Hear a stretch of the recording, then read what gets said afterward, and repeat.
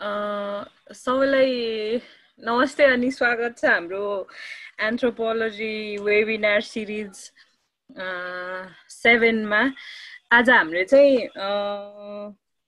आजको हाम्रो विषय चाहिँ मानवशास्त्र र अन्तर्राष्ट्रिय सम्बन्ध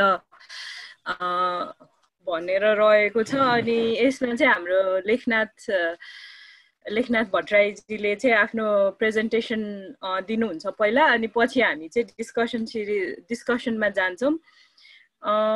लेखजी चाहिँ मैले बुझेअनुसार चाहिँ लामो समय अन्तर्राष्ट्रिय सम्बन्धमा काम गरिसक्नु भएको अनुभवी हाम्रो साथी हुनुहुन्छ। अनि अब चाहिँ लेखजीको प्रेजेन्टेसनबाट सुरु गरौँ अनि त्यसपछि चाहिँ पछि हामी क्वेसन एन्सर सेसनमा जान्छौँ। लेखजी हजुर सुरु सुरु गर्नुभयो हुन्छ धन्यवाद पुष्पाजी। सर डम्बर सर तथा सम्पूर्ण साथीहरूमा मेरो नमस्कार। अब यसै क्रममा म स्लाइडतिर यहाँहरूलाई लैजान चाहन्छु। स्लाइड सेयर गरेर गर्न लागेको छु। देखियो? देखियो देखियो। हजुर। हस् अब यसमा अहिले त इन्टरनेसनल रिलेसन्स भनेको के हो भन्नेबाट जाउँ। यसको लागि मैले केही कोटेसन्सहरू यहाँ नोट गरेको छु। कोटेसनमा इन्टरनेसनल रिलेसन्सका फेमस प्र्याक्टिसनर्स र त्यसलाई क्लोजली अब्जर्भ गर्ने पर्सनालिटिजहरूको छ। जस्तै हेनरी किसिन्जरले भन्नुभएको छ America has no permanent friends or enemies only interest अमेरिकाको कुनै पनि स्थायी शत्रु या मित्र छैन हुँदैन। खालि स्वार्थ राष्ट्रिय स्वार्थ हुन्छ।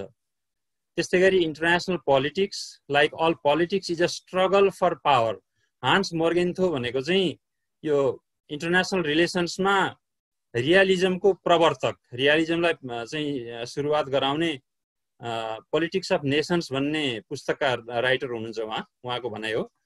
War made the state and the state made war American sociologist र पोलिटिकल साइन्टिस्ट चार्ल्स टिलीको भनाइ हो यो। स्टेटहरू युद्धबाटै बन्छन् र युद्ध स्टेटले नै घोषणा गर्छन् स्टेटले नै लड्छन्। यो दोहोरो दोहोरो सम्बन्ध छ वारसँग स्टेटको। अर्को जिबिन्यू ब्रिजेन्सकी भनेको प्रेसिडेन्ट कार्टरको नेसनल सेक्युरिटी एडभाइजर हुनुहुन्थ्यो। उहाँ उहाँले भन्नुभएको छ great deal of world politics is a fundamental struggle, but it is also a struggle that has to be waged intelligently intelligently भन्ने शब्द युज गरेर Weber has an army has power and war decides everything Mao सेतुङको भनायो यो शक्ति बन्दुकको नालबाट निस्कन्छ भन्ने त हामीले धेरै पटक सुनिआएको उहाँको यो भनाइ पनि रहेछ त्यसै गरी Anne O'Hare McCormick foreign correspondent of the New York Times उहाँले भन्नुभएको छ today the real test of power is not capacity to make war but capacity to prevent it हुनाले युद्धको युद्ध सञ्चालन गर्ने क्यापासिटी हुनु कुनै ठुलो कुरो भएन कुनै गतिलो कुरो होइन थियो तर त्यसलाई रोक्न सक्नु चाहिँ त्यो चाहिँ गतिलो काम हो त्यो गतिलो कुरो हो भनेर उहाँले बताउनु भएको छ। इन्टरनेसनल डेफिनेसन्सको बारेमा अलिकति डेफिनेसनहरू पनि अब सबै एकमत त हुँदैनन् कसैले कुन पोइन्टमा जोड दिएका हुन्छन् कसैले कुन पोइन्टमा जोड दिएका हुन्छन्। अब शताब्दीौँदेखि सदियौँदेखि इन्टरनेस नेसन्सहरूका बिचको सम्बन्ध राष्ट्रहरूको बिचको सम्बन्धले सदियौँदेखिका विद्वानहरूलाई एक प्रकारले चाहिँ फ्यासिनेट गरेको छ। र जेरेमी बेन्थम जेरेमी बेन्थम सायद युटिलिटेरियन फिलोसफीका प्रवर्तक हो जस्तो लाग्छ मलाई। एटिन सेन्चुरीमा उहाँले इन्टरनेसनल रिलेसन्स भन्ने टर्म कोइन गर्नुभयो। र खासमा इन्टरनेसनल रिलेसन्स भन्नाले राज्यहरू बिचको सम्बन्ध र लिङ्क र interactions between state and non state actors whether international, regional, or local, or related to consistent fields such as politics, economics, demographics, etc. अब अहिले पहिले चाहिँ अब सत्रौँ अठारौँ शताब्दीतिर चाहिँ राज्यको प्रधानता हुन्थ्यो भने अहिले बिसौँ शताब्दी एक्काइसौँ शताब्दीमा आइपुग्दाखेरि हाम्रोमा नन स्टेट एक्टरहरू पनि थुप्रै छन् नन स्टेट एक्टरहरू भन्नाले अब कर्पोरेसन्स भयो त्यस पछाडि इन्सर्जेन्ट ग्रुप्सहरू भयो यस्तो टाइपको जसलाई गभर्मेन्टको प्रत्यक्ष फन्डिङ अथवा प्रत्यक्ष कन्ट्रोल अथवा त्यस्तो नभएका ग्रुपहरू त्यसै गरी it also includes actual areas of cooperation conflict and war Quincy rightly भनेअनुसार आई आइआर आइआर भनेको international relations should tell the truth about the subject that is how such relations are conducted and as discipline, Should treat them in a systematic and a scientific manner भनेर Quincy Wright भन्ने स्कलरले भन्नुभएको भनाइ अब international रिलेसन्सलाई condition र डिसिप्लिनको रूपमा पनि व्याख्या गर्न सकिन्छ भन्ने कुरो पनि आएको छ। जस्तै कन्डिसन भन्नाले के बुझ्यो भनेदेखि फ्याक्ट्स अफ इन्टरनेसनल लाइफ त्यो भनेको the actual conduct of relations among nations through diplomacy दैनिक कुटनीति सञ्चालनबाट जुन प्रकारको इन्टरेक्सनहरू जन्मिन्छ संसारभरिमा त्यो चाहिँ एउटा इन्टरनेसनल लाइफको एउटा फ्याक्ट हो। त्यो फ्याक्टलाई चाहिँ हामीले कन्डिसन भनेर बुझ्न सक्छौँ। जस्तै अब नेपालको संविधान दुई हजार बहत्तरमा पनि इन्टरनेसनल रिलेसन सञ्चालन गर्ने सम्बन्धमा सरकारलाई जस्तो राज्य सञ्चालन गर्ने निकायलाई एउटा डाइरेक्टिभ प्रिन्सिपलको मातहतमा रहेर यस्तो खालको निर्देशन पनि दिएको छ संविधानले। The state shall direct its international relations towards enhancing the dignity of the nation in the world community by maintaining international relations on the basis of sovereign equality while safeguarding the freedom, sovereignty, territorial integrity, and independence and the national interest of Nepal. नेपालको राष्ट्रिय हितलाई अक्षुण्य राख्दै राष्ट्रिय हितलाई चाहिँ प्रवर्धन गर्नको लागि र नेपालको स्वाधीनता सार्वभौम सत्ता क्षेत्रीय अखण्डता इत्यादि कुराहरूलाई जोगाउँदै अन्तर्राष्ट्रिय सम्बन्ध सञ्चालन गर्नु चाहिँ स्टेटको प्रमुख दायित्व हुनेछ अन्तर्राष्ट्रिय सम्बन्धको क्षेत्रमा भनेर संविधानले दिशानिर्देश गरेको छ। यसरी विभिन्न मुलुकका संविधानहरूमै अन्तर्राष्ट्रिय सम्बन्ध सञ्चालन गर्ने सम्बन्धमा मार्गदर्शक सिद्धान्तहरू अवलम्बन गरेको पनि पाइन्छ। In other words IR should focus on the study of all relations political diplomatic trade, academic among sovereign states, the subject matter and international relations. अब इन्टरनेसनल रिलेसन्सका विषयवस्तुहरू के के हुन् भन्दाखेरि मुख्यतया राजनीतिक भयो कुटनीतिक भयो व्यापार त्यसपछि प्राज्ञिक विषयहरू यिनीहरूलाई समेट्छ यसले the scope of IR should include study of very varied types of groups, nations, states, governments, peoples, regions, alliances, confederations, international organizations, even industrial organizations, cultural organizations, religious organizations, यसरी हेर्दाखेरि ओभर द इयर्स इन्टरनेसनल रिलेसन्सले cover गर्ने यसको यसको जुन कार्यक्षेत्र छ scope छ त्यो स्कोपमा चाहिँ नेसन स्टेट्स र गभर्मेन्टको अतिरिक्त अन्य विभिन्न निकाय विभिन्न सङ्गठित संस्थाहरू चाहिँ पनि यसमा समावेश भएका देखिन्छन्। स्टेट्स आर तर यति भन्दा भन्दै पनि स्टेटहरू चाहिँ इन्टरनेसनल रिलेसन्सका बिल्डिङ ब्लक्स हुन्छ जसरी घर बनाउँदाखेरि हामीले इँटा इँटा थप्दै थप्दै जाँदाखेरि इँटालाई हामीले एक प्रकारले बिल्डिङ ब्लक भन्न सक्छौँ। त्यसै गरी स्टेटहरू चाहिँ अन्तर्राष्ट्रिय सम्बन्धका बिल्डिङ ब्लकहरू हुन्। However erosion in states power is occurring due to increasing globalisation अब सन् उन्नाइस सय नब्बेको दशकदेखि गति पक्रेको विश्व भूमण्डलीकरण भनौँ यसलाई ग्लोबलाइजेसनले गर्दाखेरि र त्यसको आयामहरू विभिन्न क्षेत्रमा विस्तार हुँदै पोलिटिकल कल्चरल इकोनोमिक टेक्नोलोजिकल आदि क्षेत्रमा विस्तार हुँदै गर्दाखेरि त्यो एक प्रकारले अन्तर्राष्ट्रिय सम्बन्ध सञ्चालन गर्ने पात्रहरूको पनि सङ्ख्यामा व्यापक वृद्धि भएको देखिन्छ। त्यसले गर्दा राष्ट्रहरूको नेसन स्टेटहरूको पावरमा चाहिँ केही हदसम्म क्षयीकरण पनि भएको देखिन्छ। International relations and international politics are use interchangeably. अन्तर्राष्ट्रिय राजनीति र अन्तर्राष्ट्रिय सम्बन्धलाई सामान्यतया यहाँ एकअर्कोमा को परिपूरक एकअर्को पर्यायवाची रूपमा पनि प्रयोग गर्ने गरिएको देखिन्छ। As a discipline and a theory relation emerge as a formal academic discipline in nineteen nineteen with the founding of the first IR professorship, the Woodrow Wilson Chair at Aberystwyth University of Wales. बेलायतको university of वेल्समा पहिलो चाहिँ international रिलेसन्सको professor पहिलो chair चाहिँ स्थापना गरियो त्यो चेयर चाहिँ विड्रो विल्सन जसलाई हामीले विड्रो विल्सन चाहिँ प्रथम विश्वयुद्धको अन्त्य गराउन र लिग अफ नेसन्सको स्थापनाको लागि सक्रिय अमेरिकी राष्ट्रपति हुनुहुन्थ्यो। उहाँको नाम उहाँलाई सम्मान गर्दै यो चेयर स्थापना भएको थियो। र पामर र पर्किन्स जो चाहिँ उहाँ चाहिँ उहाँहरू चाहिँ पोलिटिकल साइन्टिस्टहरू हुनुहुन्छ उहाँ उहाँहरूको चाहिँ भनाइ के रह्यो भने यसमा अलिकति फरक मत के देखियो भनेदेखि इन्टरनेसनल रिलेसन्सलाई डिसिप्लिनको रूपमा मान्यता दिन उहाँहरू अलिकति हिचकिचाउनु भएको छ। Arguing that history and political science are the disciplines from which international relations has emerged. उहाँको भनाइ के रह्यो भने अन्तर्राष्ट्रिय सम्बन्ध भन्ने विषय चाहिँ पोलिटिकल साइन्स र हिस्ट्रीबाट डिराइभ गरिएको हुनाले यसलाई चाहिँ डिसिप्लिनकै दर्जा दिइहाल्नु उपयुक्त हुँदैन भन्ने उहाँको भनाइ रहेको छ as a discipline and theory अब डिसिप्लिन एन्ड थियोरीको बारेमा अलिकति डिटेलमा कुरा गरौँ one of the earlier scholars of international relations professor Alfred Zimmern had written before the second world war that second world war भन्दा अगाडिको परिवेशमा प्रोफेसर एल्फ्रेड जिमर्नले लेख्नु भएको छ international relations is clearly not a subject in the ordinary sense of the world excuse me it doesn't provide a single coherent body of teaching material सामान्यतया बुझ्दाखेरि international relations चाहिँ एउटा सिङ्गल कोहिरेन्ट बडी नभएको हुनाले यसलाई टिचिङ मेटेरियलको रूपमा चाहिँ यसको नभएको हुनाले यसलाई त्यसरी मान्न सकिँदैन। It is not a single subject but a bundle of subjects विभिन्न विषयहरूको एउटा सङ्गालो हो।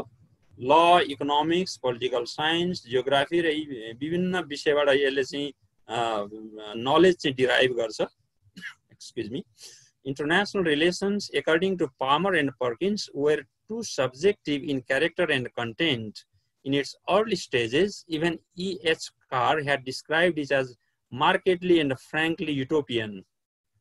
Utopian भनेर एक प्रकारले युटोपियनलाई हामीले नेपालीमा अनुवाद गर्दाखेरि राम राज्य भन्ने गरेको पनि पाइन्छ कतै हुनाले रियलाइज गर्न नसकिने खालका एक्सपेक्टेसनहरू लगाइएको यो यो विषय हो भन्ने कुरो इएच कारको भनाइ आयो the failure of the League of Nations and its collective security system led Carr to remark that it had become possible to embark on serious and critical analytical thought about international problems अब पहिलो विश्वयुद्धको अन्त्यपछि संसारमा अब युद्ध हुन दिन हुँदैन भनेर league of नेसन्सको स्थापना गरियो तर लिग अफ नेसन्सले पनि दोस्रो विश्वयुद्धलाई टार्न सकेन।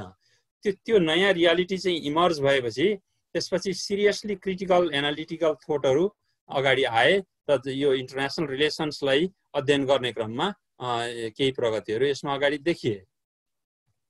अब हामी इन्टरनेसनल रिलेसन्सको जब कुरा गर्दै जान्छौँ नेसनल इन्ट्रेस्ट भन्ने विषय चाहिँ छुटाउने नहुने विषय हो।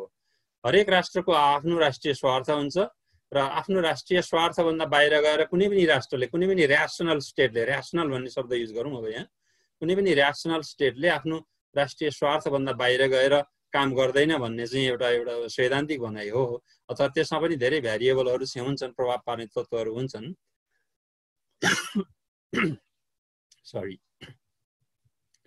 national interest is an important concern of every state हरेक राष्ट्रको नेसनल इन्ट्रेस्ट चाहिँ एउटा इम्पोर्टेन्ट कन्सर्न हो। एउटा महत्त्वपूर्ण चाहिँ चासो हो महत्त्वपूर्ण विषय हो। Planners and makers of foreign policy cannot ignore correct perception of their countries national interest which is paramount in importance सबैभन्दा महत्त्वको विषय हो national interest Hartmann defines international relations as a field of study which focuses upon the processes by which states adjust their national interest to those of other states.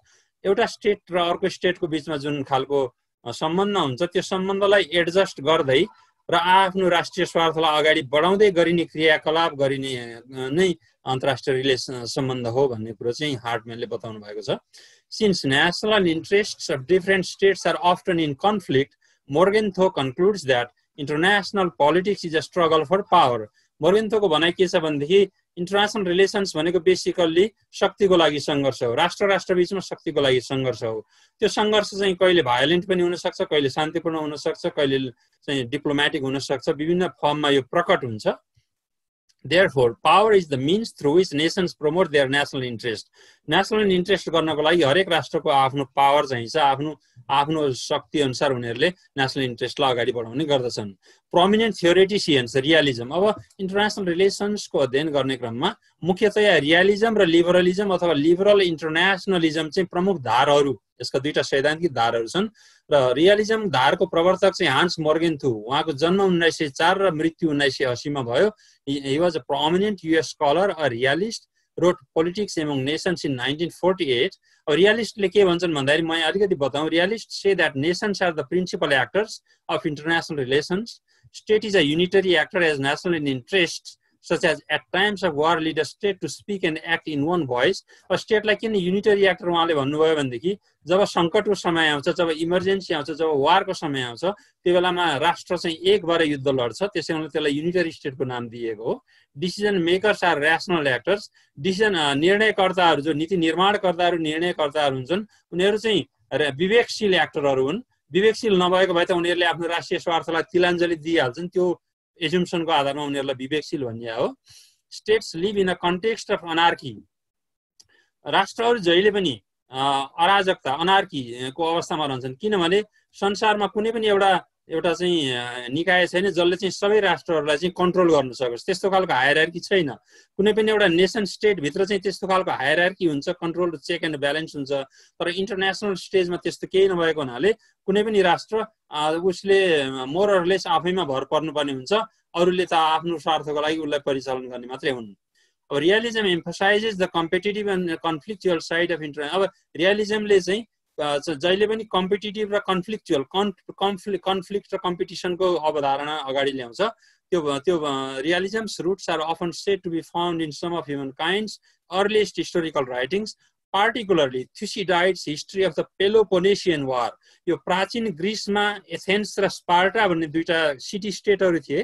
ती city स्टेटहरूमा चाहिँ आजभन्दा भनौँ न पच्चिस सय वर्ष अगाडि तिनीहरू बिचमा बारम्बार युद्ध भइरहन्थ्यो। र त्यही युद्ध क्रममा उहाँले चाहिँ पेलोपोनेसियन वार लेख्नुभयो त्यसमा चाहिँ उहाँ उहाँले यस्ता यो अहिलेलाई अहिलेको रियालिजमलाई मिल्दोजुल्दो खालको अवधारणा उहाँले ल्याउनु भएको थियो। अब रियालिजममा अब अरू आउँदाखेरि अब कन्टेम्पोररी भ्यान्टेज पोइन्टबाट हेर्दाखेरि जब अहिले हामी वर्तमान समकालीन विश्वको पोइन्टबाट हेर्दाखेरि त्यो प्राचीन ग्रिसमा भनिएका कुराहरू धेरै मिल्दोजुल्दो पाउँछौँ। र उनका थिसिडाइड्स र अन्य चाहिँ भनौँ पछि आएर म्याकिया भ्यालीको पनि कुरो आउँछ। इटालीका सोह्रौँ शताब्दीका चाहिँ चाहिँ विद्वान हुन् उनी। यी कुराहरूले जोड्दै जोड्दै लाँदाखेरि अनि रियालिजमको अहिलेको वर्तमान स्वरूपमा आइपुगेको छ। र यो यो रियालिजमको सेन्ट्रल एजम्सन चाहिँ के हो भनेदेखि मानव जाति जहिले पनि इगोइस्टिक हुन्छ अहमले भरिपूर्ण हुन्छ अहम घमण्ड एक प्रकारको हुन्छ उसमा। र त्यसले गर्दाखेरि जहिले पनि उसले पावर चाहिँ कसरी एक्वायर गर्ने र अरू प्र अरूलाई कसरी डोमिनेट गर्ने भन्ने नै उसको भित्री इच्छा भइरहेको हुन्छ। And human beings are the ones with agency who conduct international relations in politics र अब जाहेर छ इन्टरनेसनल रिलेसन्स र पोलिटिक्स सञ्चालन गर्ने भनेको एजेन्सी सहितको भनौँ न पावर सहितको ह्युमन बिइङ हो भन्ने कुरो यहाँ मैले व्यक्त गरेँ। Realism is one of the most enduring approaches in international relations as it sets itself up as a no nonsense practical science of international politics अब रियलिजम चाहिँ वास्तवमा इन्ड्योरिङ एप्रोचेस इन्टरनेसनल रिलेसन्समा अहिलेसम्म आएर रियलिजमले वास्तवमा दह्रो ठाउँ बनाएको छ। किनभनेदेखि इन्टरनेसनल पोलिटिक्समा यसले नो ननसेन्स एप्रोच भन्छ। यसले चाहिँ वास्तवमा बडो प्र्याक्टिकल कुराहरू ल्याएको छ प्र्याक्टिकल अवधारणाहरू ल्याएको छ र यो टिकिरहेको छ भनेर सच एन्ड एलियासले बताएको विद्वानहरूले बताएको कुरा हो यो। प्रमिनेन्ट थियोरिटिज अब लिबरलिजम र इन्टरनेसनल लिबरलिजमको ठ्याक्कै उल्टो हो। रियलिजमको ठ्याक्कै उल्टो अर्को थ्योरी छ अर्को धार छ। लिबरल इन्टरनेसनलिजमले के भन्छ भनेदेखि यो चाहिँ यो चाहिँ नाइन्टिन सेन्चुरीतिर यसको प्रादुर्भाव भयो र British foreign secretary and prime minister lord पामेरस्टनलाई चाहिँ र यसले यसको श्रेय जान्छ यसको प्रादुर्भाव गराउनुमा त्यसै गरी प्रेसिडेन्ट विड्रो विल्सन जो चाहिँ प्रथम विश्वयुद्ध अन्त्य गर्ने टाइममा चाहिँ अमेरिकाको राष्ट्रपति हुनुहुन्थ्यो उहाँले प्रमुख भूमिका पनि खेल्नुभयो र जसलाई विल्सोनियनिजम पनि भनेर भनिन्छ यो लिबरल इन्टरनेसनलिजमलाई। र करेन्ट ग्लोबल सिस्टम चाहिँ अब यसको ठ्याक्कै उल्टो किन भनियो भनेदेखि it is based on the belief that the current global system is capable of engendering a peaceful world order. शान्तिपूर्ण विश्व व्यवस्था कायम गर्नलाई ग्लोबल सिस्टम चाहिँ क्यापेबल छ भन्ने विश्वासमा विश्वास लिएर यो अवधारणा आएको हो। Rather than relying on direct force direct जस्तै सैनिक शक्ति सैनिक शक्ति जस्तो डाइरेक्ट फोर्सको एप्लाई गर्नुभन्दा पनि लिबरलिजमले चाहिँ के कुरोमा जोड दिन्छ भनेदेखि अन्तर्राष्ट्रिय सहयोग अन्तर्राष्ट्रिय सहयोग अभिवृद्धि। हरेक राष्ट्रको आफ्नो नेसनल इन्ट्रेस्ट हुन्छ त्यसलाई यसले नकाट्दैन त्यस त्यति हुँदा पनि ती राष्ट्रिय स्वार्थहरू परिपूर्ति गर्ने क्रममा राष्ट्र राष्ट्र राष्ट्र बिचमा कोअपरेसन हुनुपर्छ भन्ने कुरो चाहिँ गरे हुन्छ जस्तै किन त्यो किन भनिएको भनेदेखि फोर्स एप्लाई गर्दाखेरिको नेगेटिभ कन्सिक्वेन्स जुन हुन्छ जस्तै लडाइँ सैनिक सैन्य परिचालन गर्दाको जुन नेगेटिभ कन्सिक्वेन्स हुन्छ त्यो चाहिँ इकोनोमिक कन्स लसेस र सिभिलियन क्याजुअलिटिज जुन हुन्छ यसबाट उत्पन्न हुने त्यो चाहिँ पोटेन्सियल बेनिफिट भन्दा फार फार चाहिँ ओर्स हुन्छ भन्ने चाहिँ एजुम्सनको आधारमा आएको र यसै गरी स्टाब्लिस अब लिबरलिजमको धारबाट संयुक्त राष्ट्रसङ्घ र यसका विशिष्टीकृत संस्थाहरू स्थापना पनि भए इन्टर गभर्मेन्टल अर्गनाइजेसन्स इन्टरनेसनल अर्गनाइजेसन्सहरू।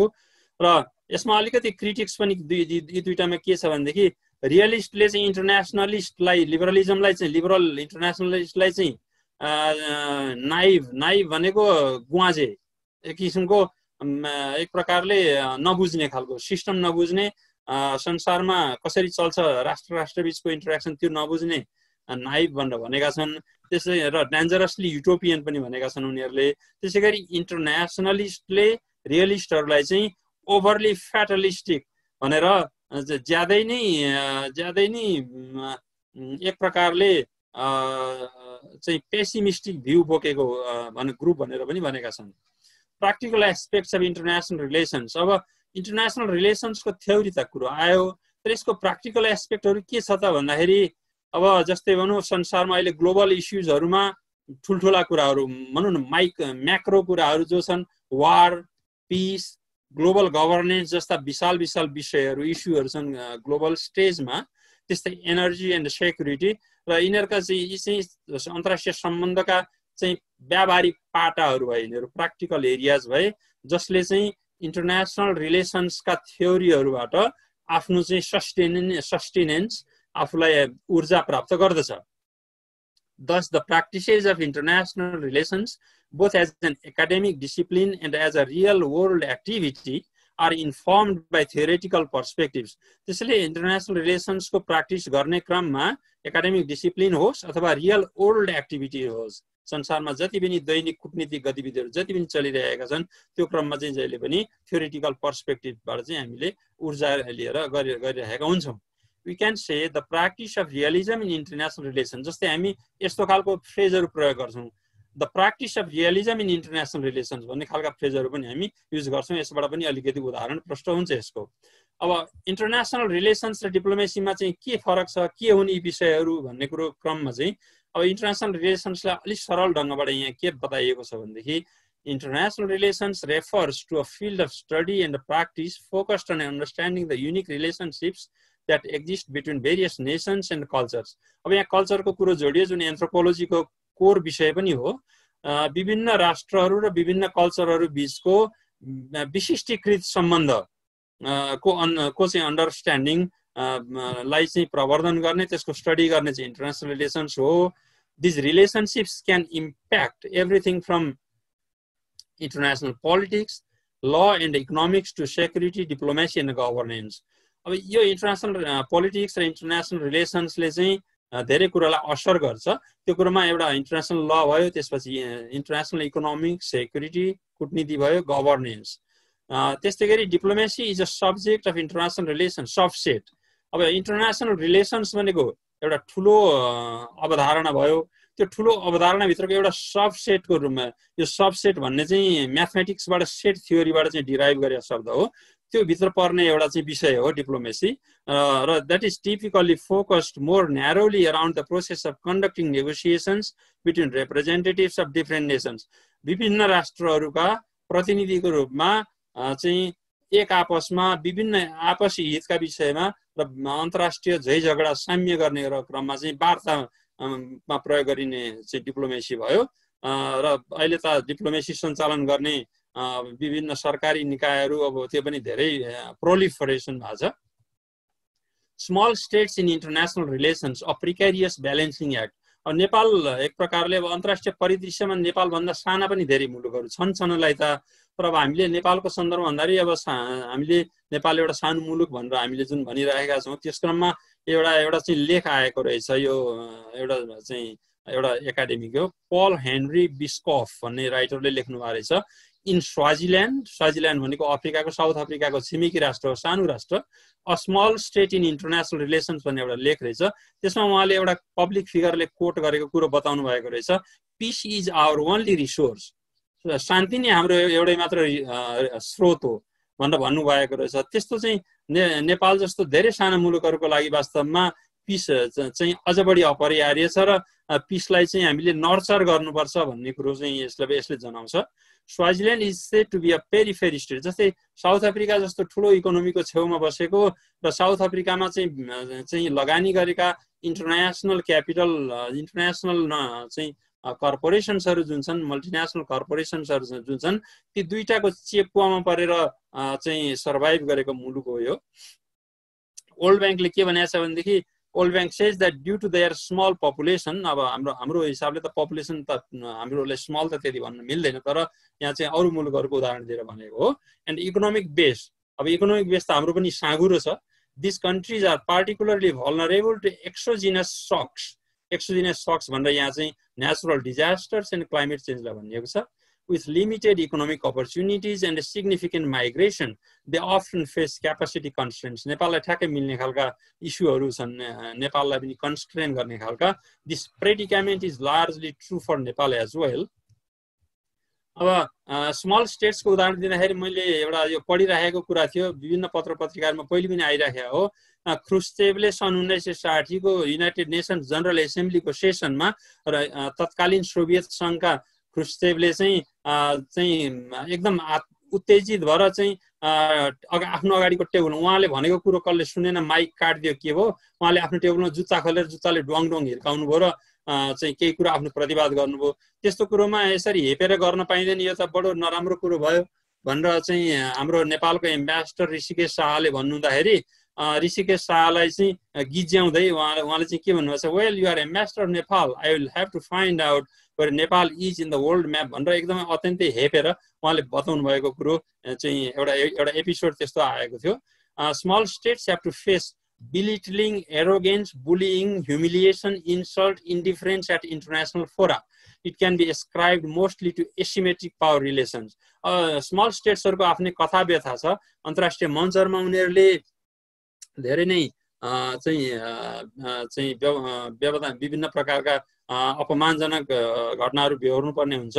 र कुनै पनि मुलुकको इज्जत तब हुन्छ तब जब त्यो मुलुक अहिलेको कन्टेक्स्टमा हेर्दाखेरि जब त्यो मुलुक इकोनोमिकल्ली प्रस्पेरस हुन्छ र इकोनोमिकल्ली प्रस्पेरस भएको मुलुकको चाहिँ छाँटकाँटै अर्को हुन्छ त्यो त्यो गरी चाहिँ हामीले गर्न सक्यौँ भने इज्जत अलिकति बढ्ने अन्तर्राष्ट्रिय स्तरमा देखिन्छ। र जस्तै उदाहरणको लागि पोस्ट वार जर्मनी र जापान जुन थियो उन्नाइस सय पैँतालिसमा युद्ध अन्त्य भएपछि उन्नाइस सय पचास पचपन्नसम्म पनि जर्मनी र जापानलाई एकदम घृणा गर्थे गन्दै गन्दै थिए। त्यहाँको उत्पादनहरूलाई छि कस्तो चिप नराम्रो चाहिँ क्वालिटीको भनेर भन्ने गर्थे। तर अहिले जर्मनी र जापान हेऱ्यौँ भनेदेखि त्यो आकाश र पातलको फरक देखिन्छ। एन्थ्रोपोलोजी र इन्टरनेसनल रिलेसन्सको अलिकति छोटकरीमा म बताउँछु। यो बिचको रिलेसनसिपहरू the fields of anthropology and international relations have begun collaborating in areas such as migration, human security, and non-state activism. र यी दुईवटा यी दुईवटा विधाहरूको बिचमा चाहिँ कोलाबोरेसन छ। Migration human security non state एक्टर्सहरूको इस्युहरूमा basically international relation scholars are interested in archaeologist study of the emergence development and the decline of states अब आर्कियोलोजीहरूले पहिलेका प्राचीन सभ्यहरू भएर नाश भए तिनीहरू? किन तिनीहरू टिक्न सकेनन्। हामी इजिप्टको सभ्यता भन्छौँ विभिन्न प्रकारका सभ्यताहरूको कुरा गर्छौँ सिन्धु घाटीको सभ्यता भन्छौँ। यिनीहरू they they some vanish without a trace यो कुरोको चाहिँ इन्टर इन्टरनेसनल रिलेसनका स्कोलरहरूले पनि त्यसबाट चाहिँ जानकारी लिएर नलेज लिएर चाहिँ उनीहरूले पनि अनुसन्धान गर्छन्। Cultural anthropologist study war peace and violence cultural एन्थ्रोपोलोजिस्टहरूले war peace र भायोलेन्सको अध्ययन गर्छन् जुन इन्टरनेसनल रिलेसन्सको मेजर विषय पनि हो। Both international relations scholars and cultural anthropologists have begun studying non-state actors and globalization. यी दुईवटा चाहिँ विद्वानहरू मिलेर नन स्टेट एक्टर्स र ग्लोबल ग्लोबलाइजेसनको बारेमा पनि अध्ययन गरिरहेका छन् as well as transdisciplinary topics such as gender human rights and nationalism यस्ता विधाहरूमा पनि सहकार्य भइरहेको छ अझ अझ बढी भन्ने हो भनेदेखि इन्टरनेसनल रिलेसन्स रिसर्च अनि एथनिक कन्फ्लिक्ट इज ग्रोइङ अब चाहिँ एथनिक कन्फ्लिक्ट किन हुन्छ? एथनिक कन्फ्लिक्ट भन्नासाथ त्यहाँ कल्चरको कुरो आउँछ। कल्चरल कन्फ्लिक्टको पनि कुरो आउँछ र एन्थ्रोपोलोजीले एन्थ्रोपोलोजिस्टहरूले गरेको चाहिँ रिसर्चहरूको बाट चाहिँ उदाहरण लिँदै त्यसबाट चाहिँ नलेज लिँदै इन्टरनेसनल रिलेसन्सका चाहिँ स्कलरहरूले गरिरहेको पनि पाइन्छ। Another area in which some international relations scholars and anthropologists have collaborated is human security. Human security को फिल्डमा पनि उनीहरूको बिचमा आपसी सहकार्यहरू भइरहेको छ increasing numbers of anthropologists are studying cultures undergoing armed conflict. Armed कन्फ्लिक्टको कल्चरको बारेमा पनि एन्थ्रोपोलोजिस्टहरूले चाहिँ अध्ययन गरिरहेका छन् overall the field of international relations has seen increasing interest in the question of culture and in the qualitative research methods that characterize anthropological research. Anthropological research को मुख्य खम्बा भनेको क्वालिटेटिभ रिसर्च मेथड्स हो। त्यो रिसर्च मेथड्सलाई पनि international रिलेसन्सका स्कलरहरूले कल्चरको question कल्चरको बारेमा अध्ययन गर्ने क्रममा बढो गरेका गरेका छन्। मेरो प्रस्तुति म यहीँ टुङ्ग्याउँछु। यहाँहरूले ध्यानपूर्वक सुनिदिनु दिनुभएकोमा धेरै धेरै धन्यवाद। अब यसपछि यहाँहरूको कमेन्ट सजेसन्स अब्जर्भेसन्स र क्वेसन्सहरूको म प्रतीक्षा गर्दछु। धेरै धेरै धन्यवाद। हामी सबैको जय होस्। धेरै धेरै धन्यवाद लेखजी तपाईँको एकदम वन्डरफुल प्रेजेन्टेसनको लागि। तपाईँले इन्टरनेसनल रिलेसनको अलिकति के भन्छ हिस्टोरिकल ऊ गर्दै ल्याएर चाहिँ कसरी डेभलप भयो त्यो सब्जेक्ट भनेर अनि अनि पछि त्यसको दुईवटा मेजर डिबेट्सहरू रियलिजम र लिबरलिजमको डिबेटहरूको कुरा गर्दै लिएर आएर कसरी पछि एकाडेमिक डिसिप्लिनमा कसरी आयो अनि त्यसपछि अर्को अनि पछि फेरि नेसनल इन्ट्रेस्टको कुरा कसरी आउँछ अनि त्यसपछि अनि अहिलेको कन्टेक्समा चाहिँ इन्टरनेसनल रिलेसन कतिको ऊ छ इम्पोर्टेन्ट छ अनि इन्टरनेसनल रिलेसन र डिप्लोमेसीको के रिलेसन छ? स्मल स्टेट्सको कुरा पिसको कुरा गर्दै एन्थ्रोपोलोजी र इन्टरनेसनल रिलेसनको रिलेसन र कहाँनिर गएर जोडिन्छ उनीहरू दुवैजना कसरी दुइटै सब्जेक्ट कसरी ऊ हुन्छ भन्ने कुराहरू मजाले एक्सप्लेन गर्नुभयो। अब चाहिँ हामी फ्लोर ओपन गर्छौँ। क्वेसन अथवा कमेन्टको लागि आफ्नो टिप्पणी या प्रश्न भए छोटोमा किन हामी लगभग आठ बजेतिर सकाउँछौँ होला। त्यही भएर छोटोमा टिप्पणी र प्रश्न छ भने पालो पालो गर्नु होला सन्ध्याजीको हात उठ्या देखेँ मैले अहिले भर्खरै। सन्ध्याजी तपाईँलाई केही भन्नु मन लागेको भए? हजुर। सबभन्दा पहिला त लेखनाथजीलाई एकदम धन्यवाद छ। यो इन्टरनेसनल रिलेसन भनेर भन्दै गर्दाखेरि अहिलेको कन्टेक्समा हामी कुराकानी गर्दै गर्दाखेरि यसको पछाडि यति डिटेलमा चाहिँ थाहा पाउने मौका थिएन। त्यो सबै थाहा भयो त्यसको लागि एकदम धन्यवाद छ। र मैले अलिकति जोड्न खोजेको चाहिँ अब हामीले यो थ्योरिटिकलको पाटोबाट कसले के भन्यो के रहेछ त भनेर कन्सेप्चुअली अलिकति क्लियर हुँदै गर्दाखेरि अब हाम्रो नेपालमा यो इन्टरनेसनल रिलेसनको कुराहरू चाहिँ कस्तो किसिमले भएर आएको छ र हामी एज ए एन्थ्रोपोलोजिस्टको हिसाबले चाहिँ नि कसरी हेर्न सकिन्छ होला भनेर अलिकति चाहिँ नि जान्न पाए हुन्थ्यो। अब यसमा सायद सबभन्दा यसमा काम गर्नुभएको लेखनाथजीले भन्न भन्नुहुन्छ। साथै यहाँ सरहरू पनि हुनुहुन्छ। उहाँले पनि अलिकति त्यसमा कन्ट्रिब्युट गर्नुभयो भने अझ अझ चाहिँ फाइदा हुन्छ कि भन्ने चाहिँ लागेको। अब हामी दुईवटा प्रश्न अथवा टिप्पणी अरू लियौँ अनि लेखनाथजीले त्यसको एन्सर दिनुहुन्छ होला भन्ने लाग्छ। अरू कसैले राम ज्योतिजी बोल्न खोज्नु भयो हो? कल्याण सरको क्वेसन छ नि एउटा। ए म यहाँ च्याट हेर्दै गर्छु। पुष्पाजी मेरो खासै क्वेसन त होइन एउटा सानो मलाई आफै जिज्ञासा मात्र सेयर गरौँ कि भनेर। सबभन्दा पहिला त लेखनाथजीबाट जुन यो इन्टरनेसनल रिलेसनको बारेमा थियोरिटिकल लिङ्कहरू गर्नुभयो यसको लागि धेरै धेरै धन्यवाद उहाँलाई। यो हाम्रो कन्टेक्समा हेर्दाखेरि जस्तै इन्टरनेसनल रिलेसन हाम्रो जुन मेन्टेन गर्नको लागि हामीलाई कन्स्टिट्युसनल गाइडलाइन्स छ नेपाललाई त्यो कन्स्टिट्युसनल गाइडलाइन्समा बसेर गरिरहेछ।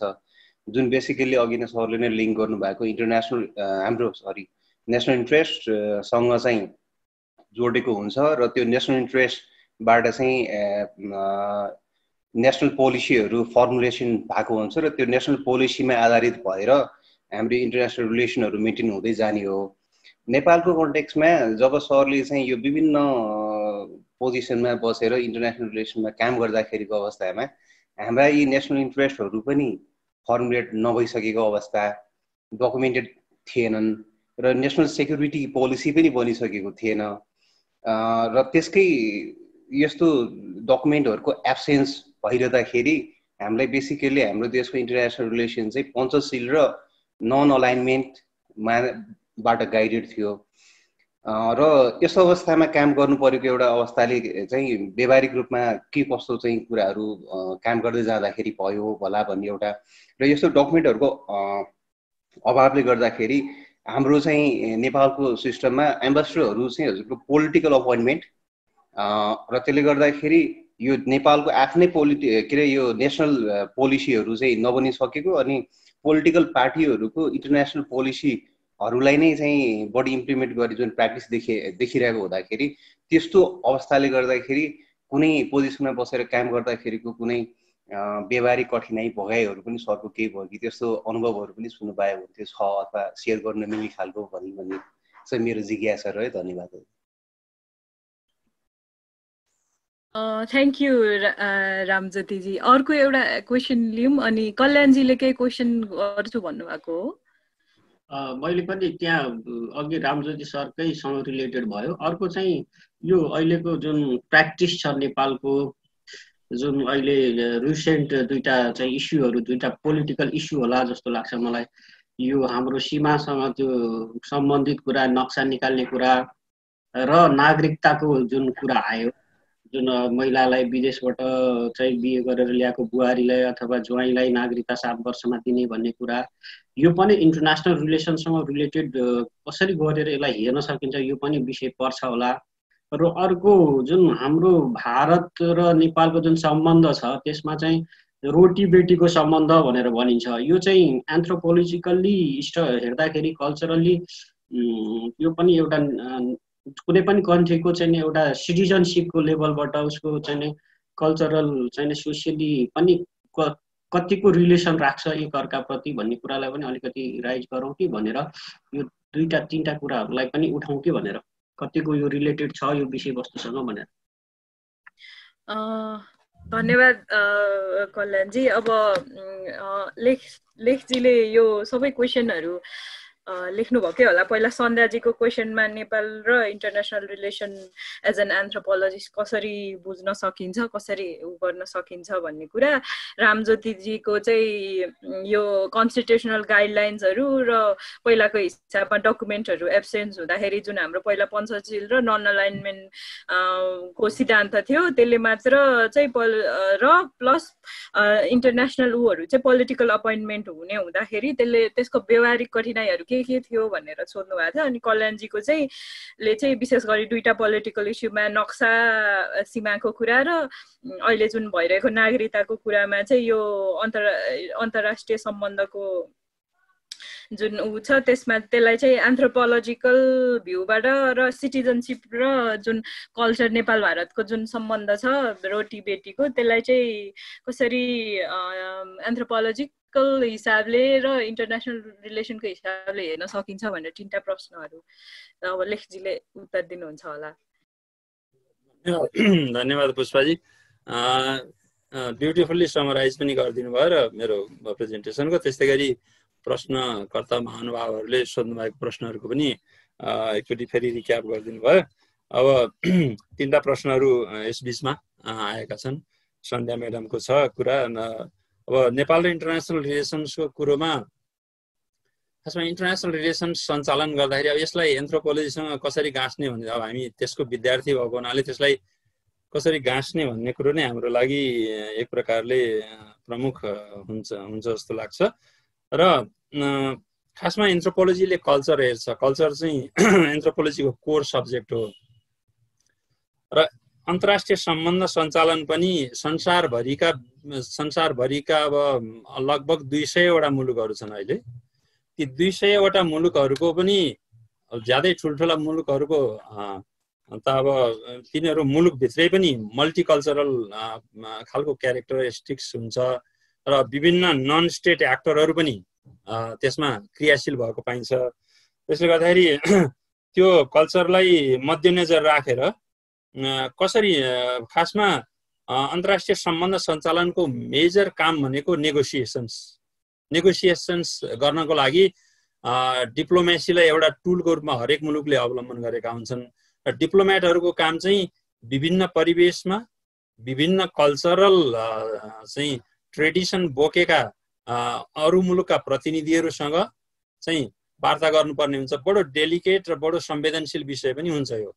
त्यसको लागि अब कुनै कुनै कल्चरमा कुनै कुनै एक प्रकारको इसाराले एक थोक बुझिन्छ भने अर्को कल्चरमा त्यो इसाराले एकदम अफेन्सिभ खालको पनि मिनिङ दिने खालको हुन्छ। त्यसो त्यसमा बडो केयरफुल भएर त्यो कल्चरको बारेमा अध्ययन गरेर हुन्छ अथवा त्यो मुलुकमा बसेर आएका अरू डिप्लोमेटहरूसँग सम्पर्क गरेर हुन्छ कसरी गर्ने भनेर त्यसरी चाहिँ सञ्चालन गरिन्छ प्र्याक्टिकल एस्पेक्टमा खास गरी हामीले परराष्ट्र मन्त्रालयमा बसेर काम गर्दाखेरि चाहिँ इन्टरनेसनल रिलेसन्सका थ्योरीहरूलाई त ब्याक अफ द माइन्ड त राखि नै हालिन्छ।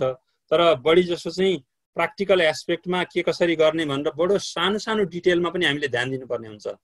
जस्तै जस्तै उदाहरणको लागि हामीले कुनै पनि डिप्लोमेटले अथवा कुनै पनि अर्को आफ्नो काउन्टर पार्ट हुन्छ। त्यो काउन्टर पार्टले कुनै पनि मेसेज पठायो भनेदेखि त्यो मेसेजको एप्रोप्रिएट समयमा एक्नोलेज गर्ने बानी बसाल्नेदेखि लिएर ती कुराहरूमा बढी संवेदनशील भएर आफूले गर्न सक्छु भनेको काम त्यही किसिमले डिप्लोमेटिकल्ली प्रष्टसँग बताइदिने गर्ने इत्यादि साना मसिना कुरामा पनि ध्यान दियो भने मात्रै यो यो चाहिँ सम्बन्ध नर्चर हुन्छ।